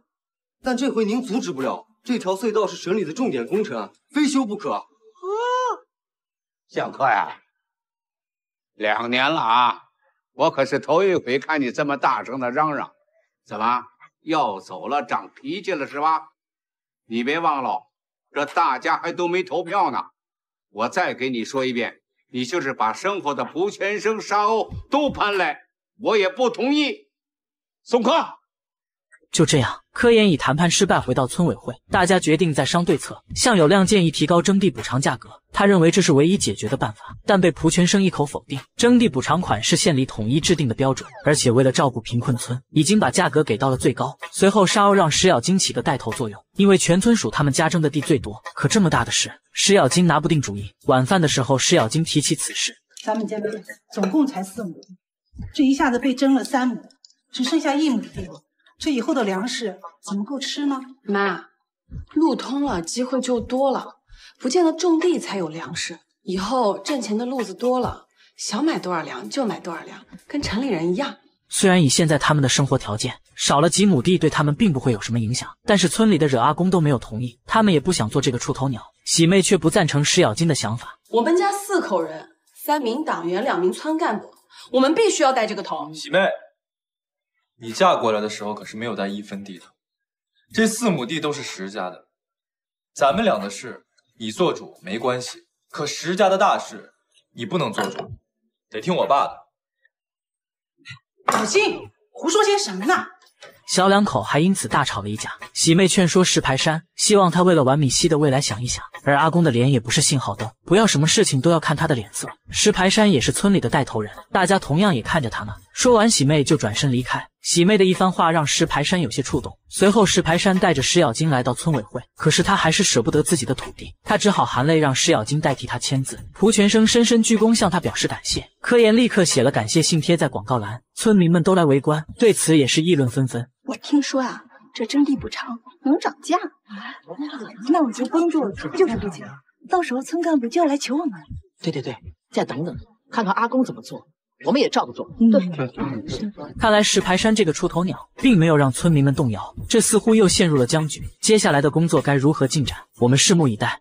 我要告状。他是村里的懒汉，是什么原因让他来到县政府告状？原来这天惹阿公找到龙冬花，他知道这条隧道是国家重点扶持的工程，所以地迟早要征的。他不放心自己走了以后，田慧带个孩子没人照顾。他想让龙冬花帮田慧找个入赘女婿，就算地没了，田慧也能有个依靠。龙冬花上次帮马长顺相亲失败，所以这次龙冬花没有立即答应。惹阿公看出龙冬花为难，便提出只要龙冬花能帮田慧找到女婿，以后他只要是酿酒，都会把第一坛出炉的酒送给龙冬花夫妇。但如果这件事做不成，他们家做药用的酒不会再给他们二人提供。龙冬花无奈只好答应。随后他找到秦宪文帮忙写征婚启事，秦宪文断然拒绝。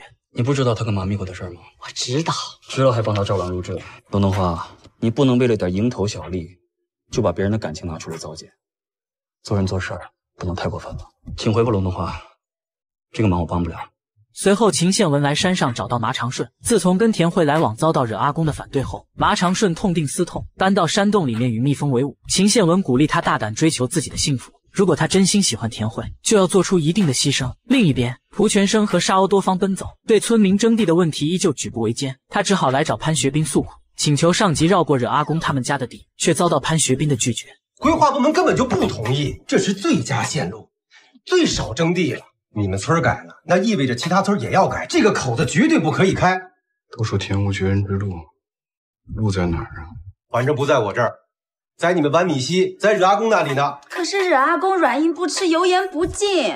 你这现在跟我说这些话了，那当初呢？啊，这当初你俩就像说相声一样的啊，那豪情万丈的，有红旗我们来扛，有敌我们来争。那现在呢？你看看现在呢？晚了，其他五个村签约率已经过半了。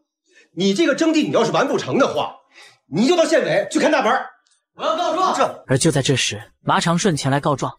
我要告状。告什么状啊？征地！哎哎哎！征地！二十一户里没你啊！这就是我来这儿告你们的原因啊！潘书记，来坐坐坐坐坐坐，来来来来，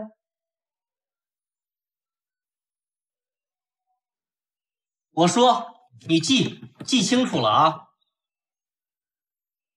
我贷款弄了二十四箱蜂，这贷款要不要还？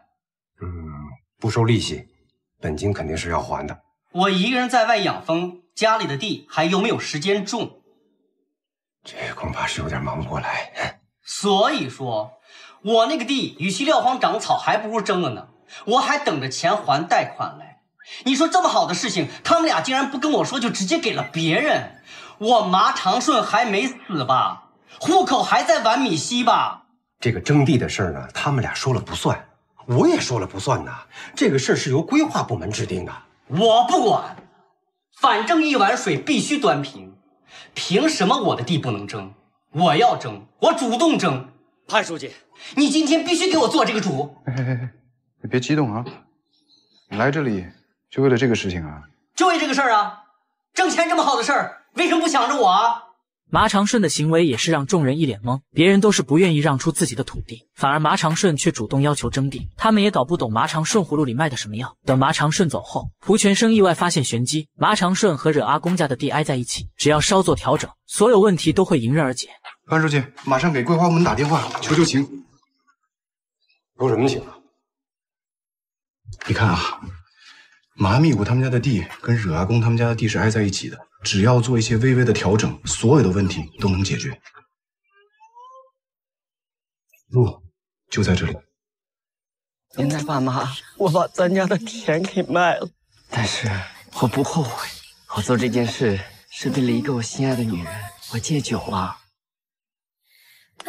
你们走了以后，我就开始喝酒，因为我太想你们，我太想你们了。可是后来喝酒不管用，我就开始破罐子破摔。是这个女人给了我希望，给了我活下去的理由。对不起。求 你们能原谅我。马长顺为了心爱的女人把自家地卖了，为此他心生内疚。他知道做阳春的农民要以地为根本，没了地算哪辈子农民？他对不起逝去的亲人们。马长顺决定今晚哪也不去，就陪在亲人们身边。田慧远远看到这一幕，感动得热泪盈眶。他是村里的懒汉，为了心爱的女人，却主动让出自己的土地。马长顺主动要求征地，这让蒲全生心存疑惑，而沙鸥却不以为然。他认为马长顺经过几年的扶贫，思想产生了转变，觉悟也有所提升。另一边，惹阿公得知马长顺主动让地，亲自登门来问马长顺的目的。马长顺借口只是想挣钱还贷款，惹阿公却心知肚明，知道马长顺让地是因为田慧。他觉得马长顺做事变得圆滑了。如果我变了，只要变得……讨人嫌就行。地让出去了，最后结果没有得到你想要的东西，你小子可别后悔。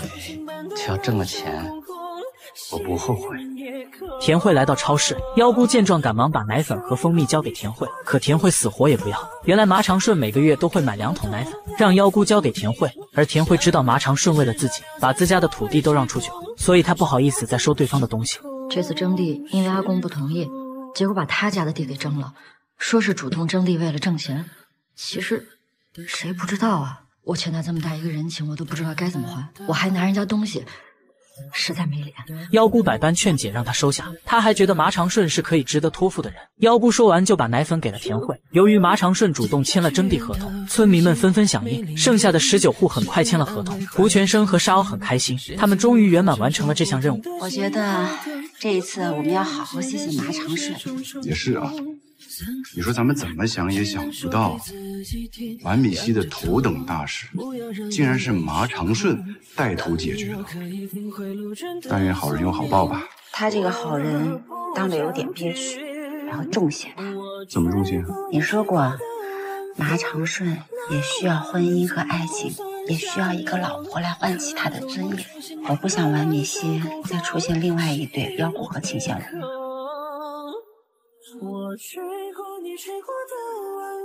这天，村民来田地收稻子，马长顺看着自己的地东张西望，他有些不舍。一旁的田慧注意到他主动过来帮马长顺收稻子，马长顺却劝他避嫌，不要被村里人议论。田慧根本不在乎。今年稻子大丰收，到了家家户户吃新米的日子，田老八放鞭炮庆祝，家家都是大鱼大肉，只有蒲全生带着沙鸥山上吃野餐。他们到了山顶，讲述着完米西这两年的变化。这时山下锣鼓喧天，沙鸥一眼就认出为首的是喜妹。他们用鼓声和即将被征用的土地告别。他们要告慰先人，告慰先人。农民对土地的情感是与生俱来的。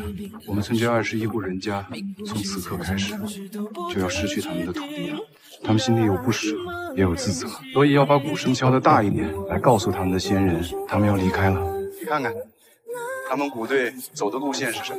是未来公路穿村而过的路线。我们唯有把扶贫工作做好，做扎实，让他们不仅脱贫，还要让他们致富，才能对得起他们今天献出的土地。沙鸥让蒲全生为他拍下这难忘的一幕。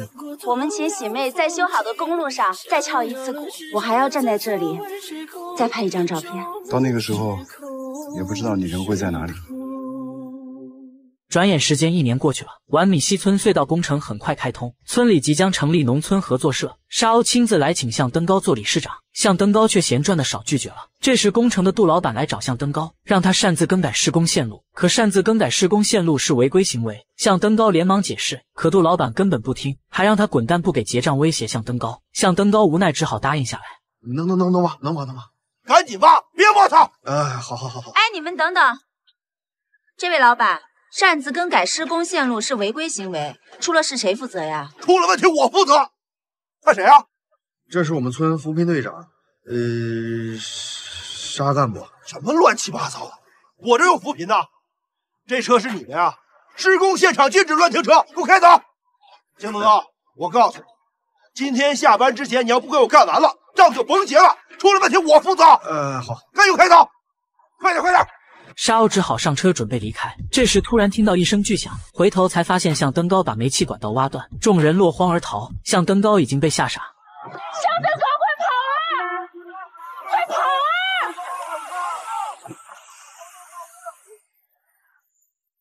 向登高，跑啊！快点走！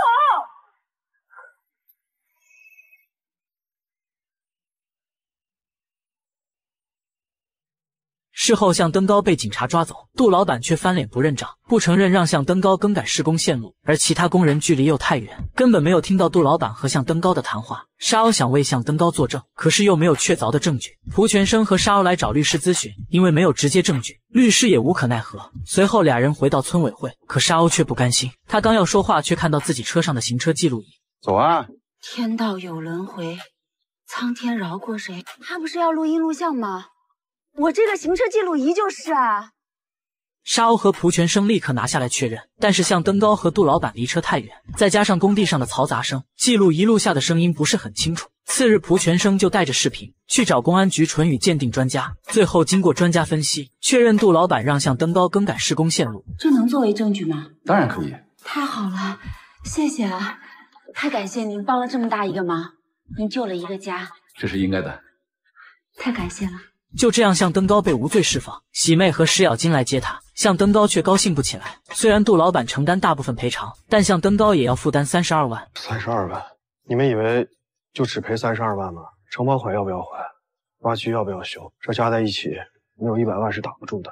这个是我们准备的五万块钱，你先拿去应急。喜妹，我告诉你，你现在是石家的人，我要你们的钱，算怎么回事啊？哥，你这么说的太见外了。我们现在是一家人，那你有难处。我们肯定要帮忙的呀，表姐，我向德高别的没有，志气还是有的。欠债是我一个人的事儿，不会拖累你们的。向有亮在村里四处借钱，村民们找各种借口推诿，惹阿公把那副棺材卖了四千多块钱给向有亮。向有亮感激不尽。蒲全生和沙鸥来到向家，向登高和向有亮都走投无路，他们一筹莫展。沙鸥埋怨向登高平时太自私，总爱打小算盘，所以村民们都不愿意借钱给他。我承认，我自私，爱钱。你们知道我们为什么这么干吗？穷怕了。我小时候的生活你们没过过，你们根本体验不到。从小我们家就穷，我妈跟我说，她嫁给我爸的时候，最贵的陪嫁就是一条金项链。我爸在我们家最困难的时候都没打过这条金项链的主意，可是又为了那么村儿秋这个自来水工程，爸真的是走投无路，没有办法，把项链骗了出来，拿出去卖，就为了疏通关系。这条金项链就卖了七百块钱。我爸拿着这几百块钱都买了好烟好酒去给别人送礼，自来水工程修好了，家家都有水喝了。我妈就知道了。我妈说：“向有亮，你就是个骗子！你不是说吗？等你有钱了，你要给我换一条更粗更大的金项链。”我听完这句话，我我就撒腿就往外跑，一口气我就跑到了镇上。到了祭奠门口，我就给老板跪下来了，我恳求他，我说。妈就这么一个愿望，求你借我一条项链。老板被我感动了，就借给了我这条项链。一路一口气我就跑了回来，就跑到我们家门口的时候，我就喊我说妈，项链给你买回来了，我爸没有骗你。妈，你听见了吗？屋里头什么声都没有。走到我妈床前，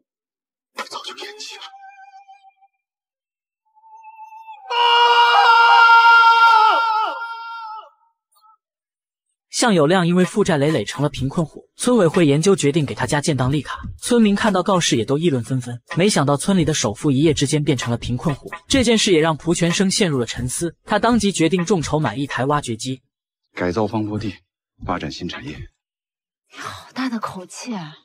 行得通吗？一台挖机一百多万，你知道吗？我有信心。一、二、三。今天是村民分红大会，村民们从来没有见过这么多钱，他们激动万分。科研按照名单开始分钱，各家都派代表上去领钱，每个人都开心的合不拢嘴。到场的村民都领到了分红，只有向登高父子俩人没有到场。向登高因为欠了债，没脸去领分红。分红大会结束，沙鸥承诺明年还会给大家分钱。他趁机号召村民集资入股，加入农机合作社，把一千五百亩的荒坡地改成茶园梯田。原来蒲全生想买挖掘机开垦荒坡地，来发展新的产业。可是，一台挖掘机需要上百万。蒲全生想先给各家各户分红，再让村民们把钱拿出来入股。沙鸥说出想法后，台下顿时鸦雀无声。紧接着，村民们开始都议论纷纷。好不容易装进兜里的钱，再让掏出来，想都别想！不是嘛？之前基地那个合作社，我们不是一毛钱都没有掏吗？不照样给我们入股？我觉得呀，沙鸥姐说的这个事儿是好事儿。你们想想，自从蒲书记还有沙鸥姐来了之后，他们干的哪件事没成？跟着他们干，不会吃亏的。没有。办成了农机合作社，你哥是开挖掘机的，他有钱着呢，当然是满意了。喜妹，你别怪大家，全村就你爸和你哥是干过挖机的，他俩都不来，那大家谁敢投这个钱啊？可不是嘛！他们刚分到钱，都舍不得拿出来入股。沙鸥看出来村民都很抗拒，他自掏腰包拿出三万五千元积蓄入股。想借此带动大家的积极性。就在这时，向有亮及时赶来，他缓缓走上前：“胡书记，我想说两句。”有亮说：“你说，我们家欠了大伙不少钱，分红了，本来应该先还给大家。可是我刚才在门外听了沙干部的讲话，说实话，作为完米西人，我有点羞愧。一千五百亩荒坡地，要是真的变成了茶园梯田，那是多大一片地呀！”这是造福我们子孙后代的大好事啊！我看，小柯，把我们家的分红全部入股了。向有亮入股两千两百五十元。嗯，这时惹阿公也站出来劝说大家入股，他和田慧拿出来一千四百元分红的钱入股。养蜂的人怕冷不怕热，这好日子。就得热热乎乎的，我这一千零二十也捐了，不是捐，是入股，入股入股。王长顺入股一千零二十元。咱们这儿这两年的变化，大家都看到了。我宁愿苦干，也不愿意苦熬。我们家分的三千三百八十元，全部入股。我也入，你入什么呀？你入？华华，你的钱放哪了？你你的钱留着，能捂出崽来了。我这钱还没有捂热呢。我全入。你，小郭，入股。你去。入股。我也入股。紧接着，大家纷纷入股。蒲全生和沙鸥也很是高兴。第二天，蒲全生让向有亮把工程方案交给向登高过目。向登高一眼就看出这方案有问题，因为荒坡地都是大石头，半年之内根本不可能完成。随后，他直接来找蒲全生说明事情。这个方案有漏洞。什么漏洞？你们这个工程计划，一看就是一个外行做的。哦，对，是我做的。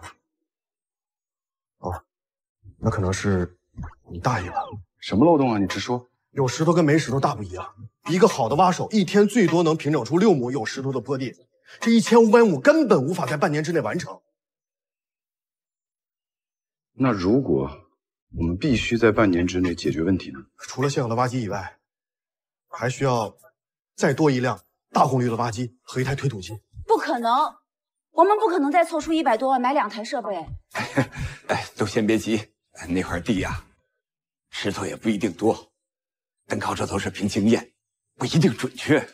我这是科学，一定准确。我想成立四海农机合作社。蒲全生为了买挖掘机，想要成立农机合作社，于是他找到其他村子里的领导人，想联合他们村子一起入股，就可以把四个村的荒坡地一起开发。沙鸥把合作社的章程发给大家，还让向登高免费培训技术人员，众人也都举手赞成。潘学兵得知此事后，他一早就把蒲全生和沙鸥叫来，劈头盖脸数落他们一顿。村村合作，行政体系还要不要了？联合以后，你们几个村听谁的？如果要是出了事儿，责任谁来担？这是市场行为。董事会担责任，哪个村出的钱最多，哪个村就是大股东，大股东的话语权最大。别拿市场说事，我就问你们要不要政府的领导，要不要党的领导了？当然要依靠组织，依靠政府啊！所以我这不找你来了吗？我跟你说正事儿，你给我拨点钱，顺便给我站个台。你别拉我下水了，行不行？村村合作，县里边有吗？市里边有吗？国家政策允许吗？那政策也没说不允许啊，不是吗？总得有人先干啊！潘学兵埋怨他们不该擅自成立农机社，蒲全生和潘学兵你一言我一语，据理力争。潘学兵最后表态不支持也不鼓励，还劝蒲全生三思而行。我再一次提醒你啊，这件事要是干的话，能不能缓一缓？镇里边马上搞民主评议了，你得记住上次的教训呐。村里边你拿了个倒数第一了，要是镇上再拿个倒数第一。我是有责任，你不用有压力。我是倒数第一，又不是你。我的天哪，你！很快，陈不胜就拿到了这次民主的测评结果。蒲全生由原来的倒数第一成了全镇的第一名，这让大家都没想到。但是蒲全生想搞农机社的事情也传到了陈不胜的耳里，其他干部对此都不太赞同。而陈不胜认为皖米西这两年的变化离不开蒲全生的敢想敢干，皖米西能有今天的产业发展，也离不开蒲全生的创新和精神。陈不胜觉得应该下到第一线实地考察后，然后再下结论。次日，陈不胜就来到皖米西村。沙鸥与蒲全生听到消息后，俩人手忙脚乱迎接陈不胜。很快，陈不胜就来到村委会，他直奔主题，表示想单独与蒲全生谈话。随后，俩人来到房间，陈不胜首先庆祝蒲全生在民主测评中拿了第一名，更是对他两年多的挂职锻炼提出肯定。他想调离蒲全生。县政府办公室的林主任调到司法局去做局长，那个位置空缺了两个多月。我一直在物色一个合适的人选，希望能有一位敢想敢干的年轻干部加入到县政府里来。今天来就是想征求一下你的意见，如果你同意，我就在县常委会上提议由你来做县政府的办公室主任。胡全生对陈不胜的任命措手不及，一时不知道该如何抉择。沙鸥得知蒲全生要去县政府做办公室主任，他亲手做了一桌子菜为蒲全生饯行，并祝贺他被领导赏识，从此走上光明仕途。蒲全生却高兴不起来，他放心不下即将成立的农机合作社，也不想让扶贫工作半途而废，更不想辜负村民们的信任。他决定留下来。沙鸥苦苦规劝他不要犯傻，可蒲全生心意已决。江四维从省里开会回来，第一时间向陈步胜了解蒲全生搞村村联合的事情。现在是蒲全生打个喷嚏，全县就感冒。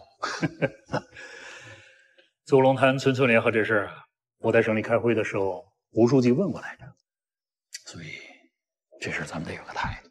江书记，这新事物是应该支持，但是也应该把握好度。像蒲全生这种真扶贫的干部，那是咱们县里的财富，首先得保护好。所以啊，我不希望把他这种爱出格破圈的干部，老是放在有风险的地方，不停的去试错、去冒险。所以你才想把他调到县里当政府办公室主任，放在自己眼皮子底下看着。原来陈不胜不想看着蒲全生再次冒险，担心会断送了他的大好前程，所以才想调离蒲全生。可是你想过没有，调走蒲全生对村村联合那是釜底抽薪。脱贫攻坚的过程中，不可能只是规定动作，肯定会有自愿动作，而蒲全生擅长的正是自愿动作。所以啊，对他，应该主要是怎么引导的问题。要想成立农机合作社，就要需要有挖机。沙鸥亲手写了宣传中联重科公司的策划案，直接来电视台交给何总编过目。你不会挖坑让我跳吧？放心吧，这是积德行善的好事，赶紧看。随后，俩人找到了中联重科的程总，想让程总扶持他们的四海农机合作社。听说希望我们在节目中对口支援的单位叫四海互助农机合作社。对，这个合作社是按照地域相邻、产业相近、优势互补、合作共赢的原则建立的，是雍城县完米西村探索的一套抱团发展的集体经济新模式。他们希望改变过去一个村单打独斗的脱贫模式，联合四个村抱团发展。当然了，想要做到这一点，还需要中联重科的大力支持。我们也希望通过这个节目，让中联重科对其他企业起到示范带头作用。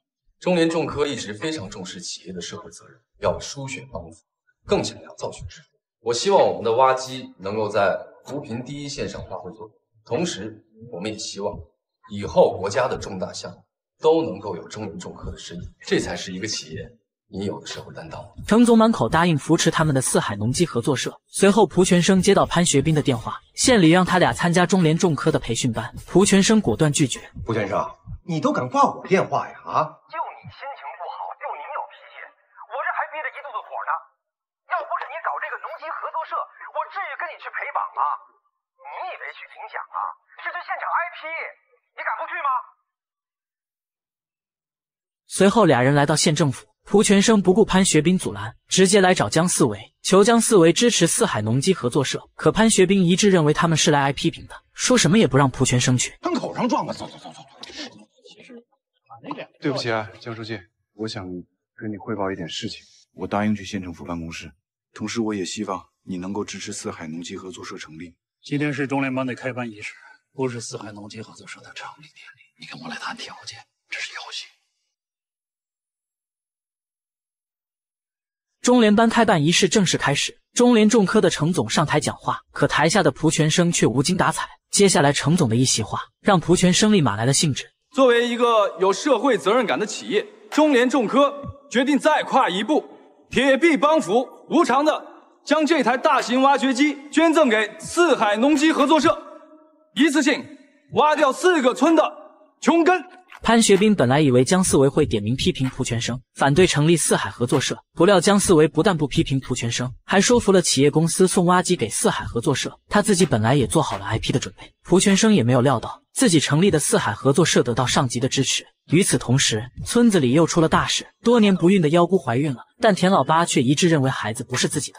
我老婆怀孕了，我想知道这事儿跟你有关系吗？田老八的老婆怀孕了，但他却怀疑孩子不是自己的。这天，秦宪文和幺姑在教室里排练，他们俩配合默契，悠扬的歌声传出去很远。田老八来给学生们送东西，从窗户里看到这一幕，田老八醋意瞬间涌上心头。幺姑急忙追出来，连连向田老八解释：“老八，你是不是又误会了？我误会什么？我们那就是正常的排练。我知道排练，我什么也没说呀。那你把东西扔了就走？不走，我我陪你们唱一段。”这时，妖姑身体突然不适，田老八见状，赶忙将妖姑扶到一边。妖姑还是不停恶心呕吐。你要不要我带你去酱馆那儿看看啊？我可能怀孕了。随后，田老八请来廖桂香诊脉，廖桂香诊断出妖姑怀孕了。田老八却高兴不起来，因为妖姑曾被诊断为宫寒，所以很难会怀上孩子。这突如其来意外让田老八措手不及，他怀疑孩子不是自己的。江哥，你不说宫寒很难怀孕吗？这怎么还怀上了呢？这寒热呀，它是相对的。正所谓啊，气血充和，百病不生哦。现在妖姑啊，天天唱歌，心情好了。哎，动则生阳哦，气血一通，那就换成热了，还是开心好。这开心能治百病呗。哎哎，我看你以后也别当村医了，你去说相声多好啊啊！哎，开心。总之啊。怀孕还是好事情呢。好了，那我就走了。我去送送你吧。啊，你莫动，你莫动。老八，你去送送吧。谢谢啊。田老八苦着一张脸把廖桂香送走，劝妖姑不要参加这次市里的比赛。可妖姑不想错失这么好的机会。田老八顿时恼羞成怒。我说不许去，就是不许去了。随后，田老八把秦宪文约到河边，质问秦宪文孩子是不是他的。田家旺，你找我什么事儿啊？我老婆怀孕了。我想知道这事儿跟你有关系吗？你什么意思啊？你说什么意思？我就问你一句，这事儿跟你有关系吗？你要这么说，那就是有关系。我让你有关系。就这样，田老八对秦宪文大打出手，秦宪文也不示弱，和田老八撕扯在一起。这时，村民们都及时赶来劝架。妖姑闻讯赶来，老子今天非砸死你！田老八，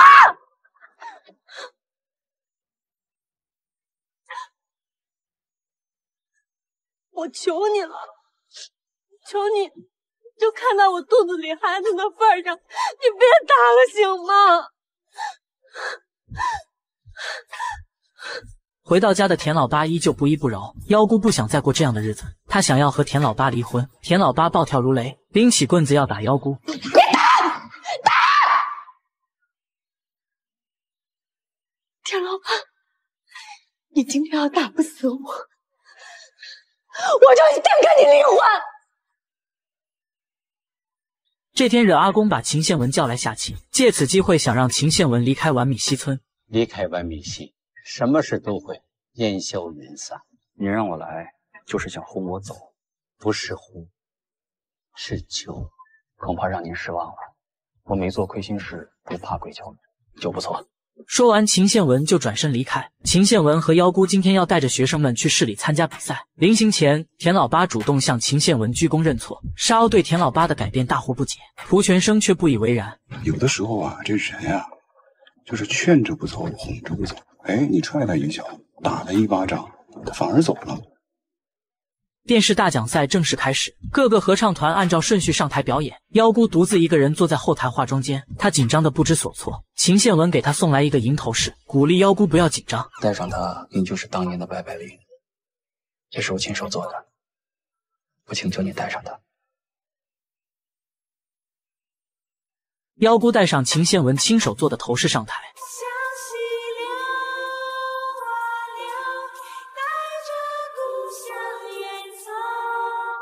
他悠扬的歌声配上学生们清脆的嗓音，立刻震惊了全场。蒲全生和沙鸥在台下观看，他们俩屏住呼吸，仔细聆听，激动的热泪盈眶。田老八从电视里看到妖姑和孩子们的精彩演出，他也激动的泪流满面。演出结束，妖姑和小溪流合唱团的孩子们不负众望，获得了第一名。主持人采访妖姑，妖姑却激动的说不出话来。她想让秦宪文替她上台发表感言，可秦宪文早已经不见了踪影。蒲全生和沙鸥赶忙去后台找人，只看到秦宪文给妖姑留的一封信。我走了，感谢你在我的生活中留下了这么美好的记忆。那套银饰送给你，留作纪念。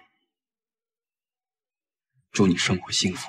蒲全生急忙追出来，远远看到秦宪文，蒲全生苦苦挽留他，可秦宪文心意已决，非要这样吗？我跟妖姑明明不是陌生人，可在这个村子里边装的比陌生人还陌生，一装就装了这么多年。有时候放手也是一种爱。我在完美溪的使命已经完成了。秦老师，来完美溪这些年，我没觉得我对不起谁，可唯独对你，我心里是有一些愧疚的。你是这个村子里最有能力，也最有资格走出大山，过上好日子的人。可是为了孩子们，你拿着最微薄的工资，当了这么多年的乡村教师，甚至都没有得到你想要的爱情。完美西欠你一个道歉。秦宪文的多年守护，最终以离别收场。小青蛙们也跳出了井台，田老八也已经改邪归正，他也是时候离开完米西村了。另一边的妖姑却迟迟不肯上台，最终妖姑在沙鸥的劝说下，妖姑才强忍住泪水微笑上台，因为她知道这份荣誉不光是为了自己，更是为了秦宪文。你个王八蛋，老子最见不得欺负女人。你算哪根葱啊？爷行不改名，坐不改姓，马长顺。原来就在刚刚，女人的前夫来到完米西村闹事，他想要回女儿的抚养权，田慧断然拒绝。离婚的时候咱俩说好的，我净身出户只要英子，只要调解不满意就可以打官司，这孩子我要定了。你去打官司呀，你去告我呀，你要脸吗你？今天要不答应把英子给我。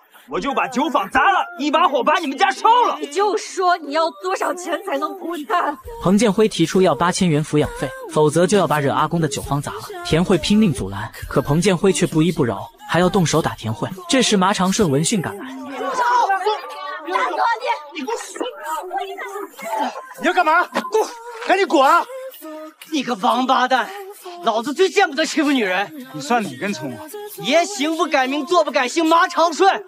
你到这儿来撒野了，也不看这是什么地方。你们三个打我一个是吧？有本事你跟我单挑！对你这种流氓，爷就不单挑。也就要群殴打。最后，在村民的帮助下，麻长顺将这个无赖给乱棍驱赶走。随后，麻长顺来到田慧身边，此时的田慧已经哭成了泪人。麻长顺劝田慧先回家，免得惹阿公担心。这天，田慧来找麻长顺，想管他借一香风。借你香风？不管怎么说，得给彭建辉一条生路。他彭建辉过不好，就经常会来闹。我不想因为我再让阿公丢人了。那你想怎么做？我想帮他，让他养蜂。只有脱了贫，他就不会胡思乱想了。一香我不接。啊，呃，你要不愿意，就就算了。我给两箱。钱足，脱贫才能快点。跟我调风来。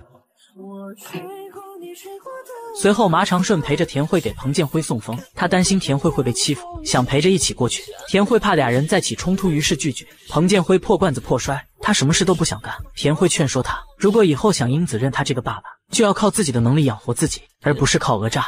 正经事早不会了。田慧掀开了盖住养蜂的箱子。怎么就不会了？你爸之前教你的那些养蜂的手艺，你怎么就不会了？你爸也是我养蜂的师傅，想当初在这十里八乡，他是出了名的养蜂能手。这就是你们彭家的手艺，我不相信你不会。建辉，如果你还有一丁点良心，就像个男人一样，从哪跌倒就从哪爬起来。我给你送了两箱蜂。剩下的事情自己看。彭建辉陷入了沉思。田慧说完，转身就走。照顾好英子。另一边，沙鸥扶贫工作即将到期，蒲全生答应给他举办隆重的欢送会，但是他却高兴不起来，因为他还有一项心愿没有完成。那今天我就当一回阿拉丁神灯啊！有什么心愿你都说出来，别说一个，两个我都给你完成了。来搓一搓。这个心愿你真帮不了我。我要当媒婆。随后，沙鸥特意换上民族服装，带着喜妹和龙冬花上门提亲。先收开口礼，然后开尊口。阿公，我受马长顺的委托。特来上门求亲。沙鸥郑重其事献上麻长顺的耕田，还有麻长顺的两万七千元的存折，希望惹阿公成全麻长顺和田慧的婚事。惹阿公却不同意，因为麻长顺以前的名声不好，他想给田慧找一个体面的好男人。沙鸥决定帮麻长顺找回面子，他提出要找一个有体面的人来给麻长顺当证婚人，这样十里八村的人就知道麻长顺的人品了。请谁呀？县长行吗？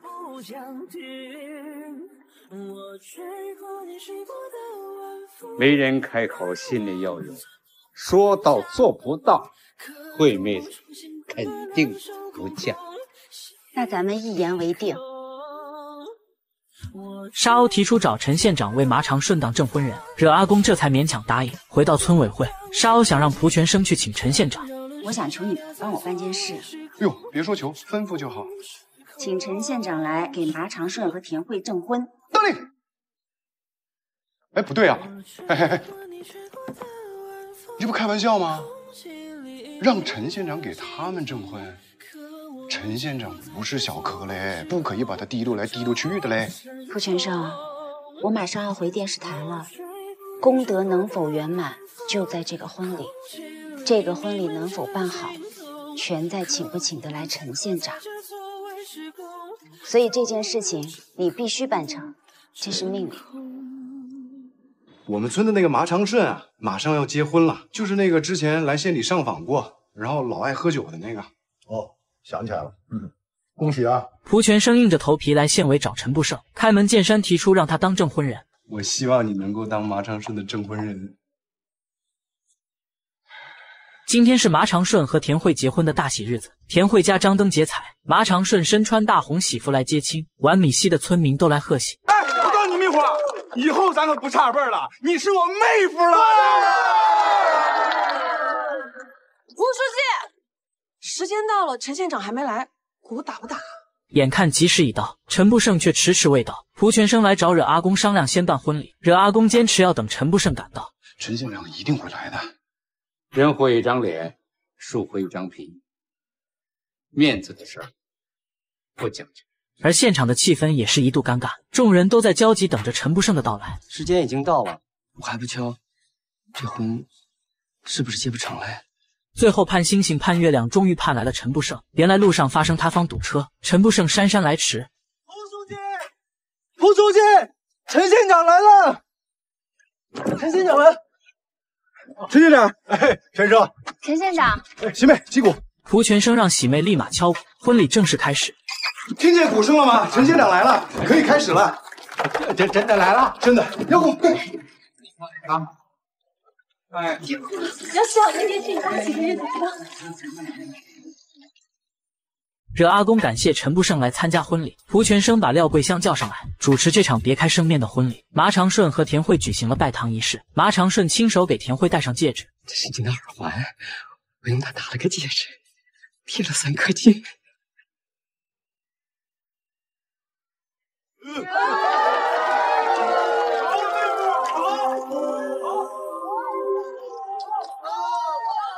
好了好了好了，下面啊，我们有请我们的证婚人陈县长讲话。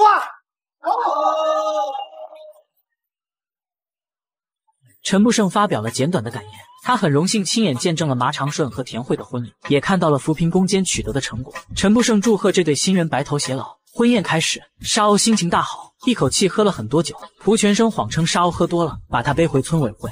越来越会演了啊！刚来时候多好啊，这么直爽的一个小姑娘，现在变得越来越狡诈了。狡诈？跟你学的呀！装醉的招数你都想得出来？哟，是谁说的呀？轻轻的我走了，正如我轻轻的来。我轻轻的挥一挥衣袖，不带走一片云彩。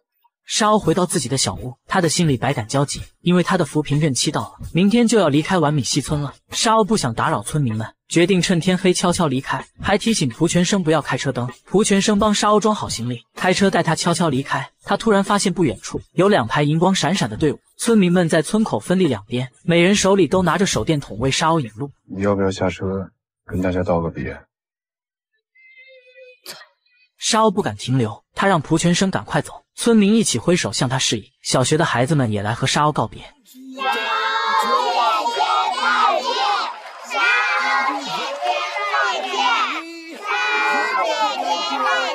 沙鸥感动得热泪盈眶，这三年来在完米西村的一幕幕往事一下子涌上心头。为我记得我来自哪里，才点着你的冷暖悲喜。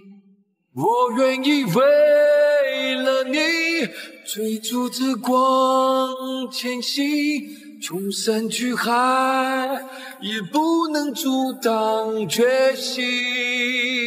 我愿意为了你用爱改变天地，要让幸福充满你的生命。我愿意为了你追逐着光前行，冲山去海也不能阻挡决心。我愿意为了你用爱改变天地，要让幸福充满你的生命。村民每家每户都挑选了几种土特产，装到了沙鸥的车里。这是大家的一点心意，村里每家每户都送了，这四样是我们挑的。走吧。星际闪耀光影，如你的眼睛，如迷人的水晶般浪漫放逸，还是种魔法给喜妹望着沙鸥渐渐远去，大声喊道：“沙鸥姐，你要常回来！”沙鸥终于忍不住，感动的失声痛哭了起来。我不愿苏醒，世上的光阴牵你手我们共赴一场光年的旅行。已经转眼几个月过去了，完米西村隧道工程即将完工，蒲全生也要即将离任。而目前的完米西也成了全镇的第一村，因为蒲全生要接任潘学兵的位置。潘学兵推荐了几个完米西村支书的人选，因为蒲全生身挑两职，最后还需要选一位村主任。蒲全生觉得喜妹最合适，让我竞选村主任？不行不行，真的不行！你呀，先别忙着拒绝，你坐下。一直都说咬金是培养对象，怎么突然就变成我了呢？这不是让我们两口子打架吗？组织上评估过，实事求是的说啊，咬金呢确实不错，但是在开拓性和创造性上，他不如你。在公司的运营方面呢，他也没有你有经验。可是宛米西从来都没有过女人当家。宛米西从来都没有过种桑养蚕基地，现在有了；从来都没有过远近闻名的公众号，现在也有了。从你开始，宛米西也可以是女人当家。喜妹左右为难，她只好打电话向沙鸥请教。沙鸥支持她竞选村主任，答应会全力以赴帮她。喜妹顿时信心倍增，她想试一试。喜妹回家宣布了这个消息。我想竞选村主任。你，你说什么？蒲书记找我谈话了，他要推荐我竞选村主任，我答应了。哎呦，喜妹呀！自古以来，咱金牛山的女人啊，都是勤俭持家、恪守妇道的。这女人再要强，你头上那片天还得是你男人。你选什么村主任呢？向喜妹，你是不是故意的？我说你能不能顾及一下我的感受啊？向喜妹，我告诉你啊，我不是吃软饭的，我是你丈夫，我也要干一番事业的，我也要被人尊重。你说句实话，我是不是比你更适合当村主任？不能因为你是我男人，我就该让着你，这样对村里也不负责任。在市场意识方面，我就是比你强，不然蒲书记也不会推荐我。这件事情，沙鸥姐也是支持我。那可以了，我听明白了，你是铁了心要跟我作对。那我们就公开竞选，只要你不怕被村里人笑话，老子也不怕。蒲全生召开村支两委会，向有亮提交了石咬金的竞选名单，表示他们一致支持石咬金。而就在这时，惹阿公突然来到村委会。我呢是受山上山下三十六名村民代表的委托，来给你们推荐个候选人。谁啊？向喜妹。还带来三十六名村民代表的联名推荐信。超过十名村民代表签字按了手印。符合法定程序，推荐有效。随后，蒲全生来河边找石咬金谈心，心里有什么不痛快的都说出来。现在除了你跟我，也没别人了。全村人看着我给我老婆当跟班，我脸往哪放？你这个人啊，说到底就是大男子主义。你换个角度想一下，如果你真的可以大度的支持喜妹的工作，你也是全村第一啊！你别忘了啊，穆桂英就算挂了帅，她也是杨宗保的老婆。回到家里，他照样得给你请安。蒲全生苦口婆心劝他，给他讲事实摆道理，石咬金才稍稍释怀。我现在舒服多了。而今天也是蒲全生的离开之日，他望着屋里的每一个角落，难以释怀。喜妹成功当选完米西村主任，他依旧不辞劳苦，在公众号推荐完米西的特色。石咬金帮他拍摄视频，还是喜妹有本事。她当了村主任之后，带着我们大家一起发财。再有本事。那也是我冷。明天就是隧道通车的日子，蒲全生特意把沙鸥叫来。蒲书记，好久不见。沙主任你好。明天才通车，怎么今天把我请过来？明天人太多，我特别申请了一下，我们两个人代表乡亲们，第一批穿过完米溪隧道，第一批。从雍城县的西大门走出去，随后两人驾车成为第一个穿过隧道的人。这条隧道承载了太多人的汗水与努力。隧道不长，可是意义重大。那是完米西村民的希望之路，也是像蒲全生和沙鸥一样的扶贫工作人员通往梦想彼岸的大道。不久后，完米西彻底摘掉了贫穷的帽子，成为了雍城第一村。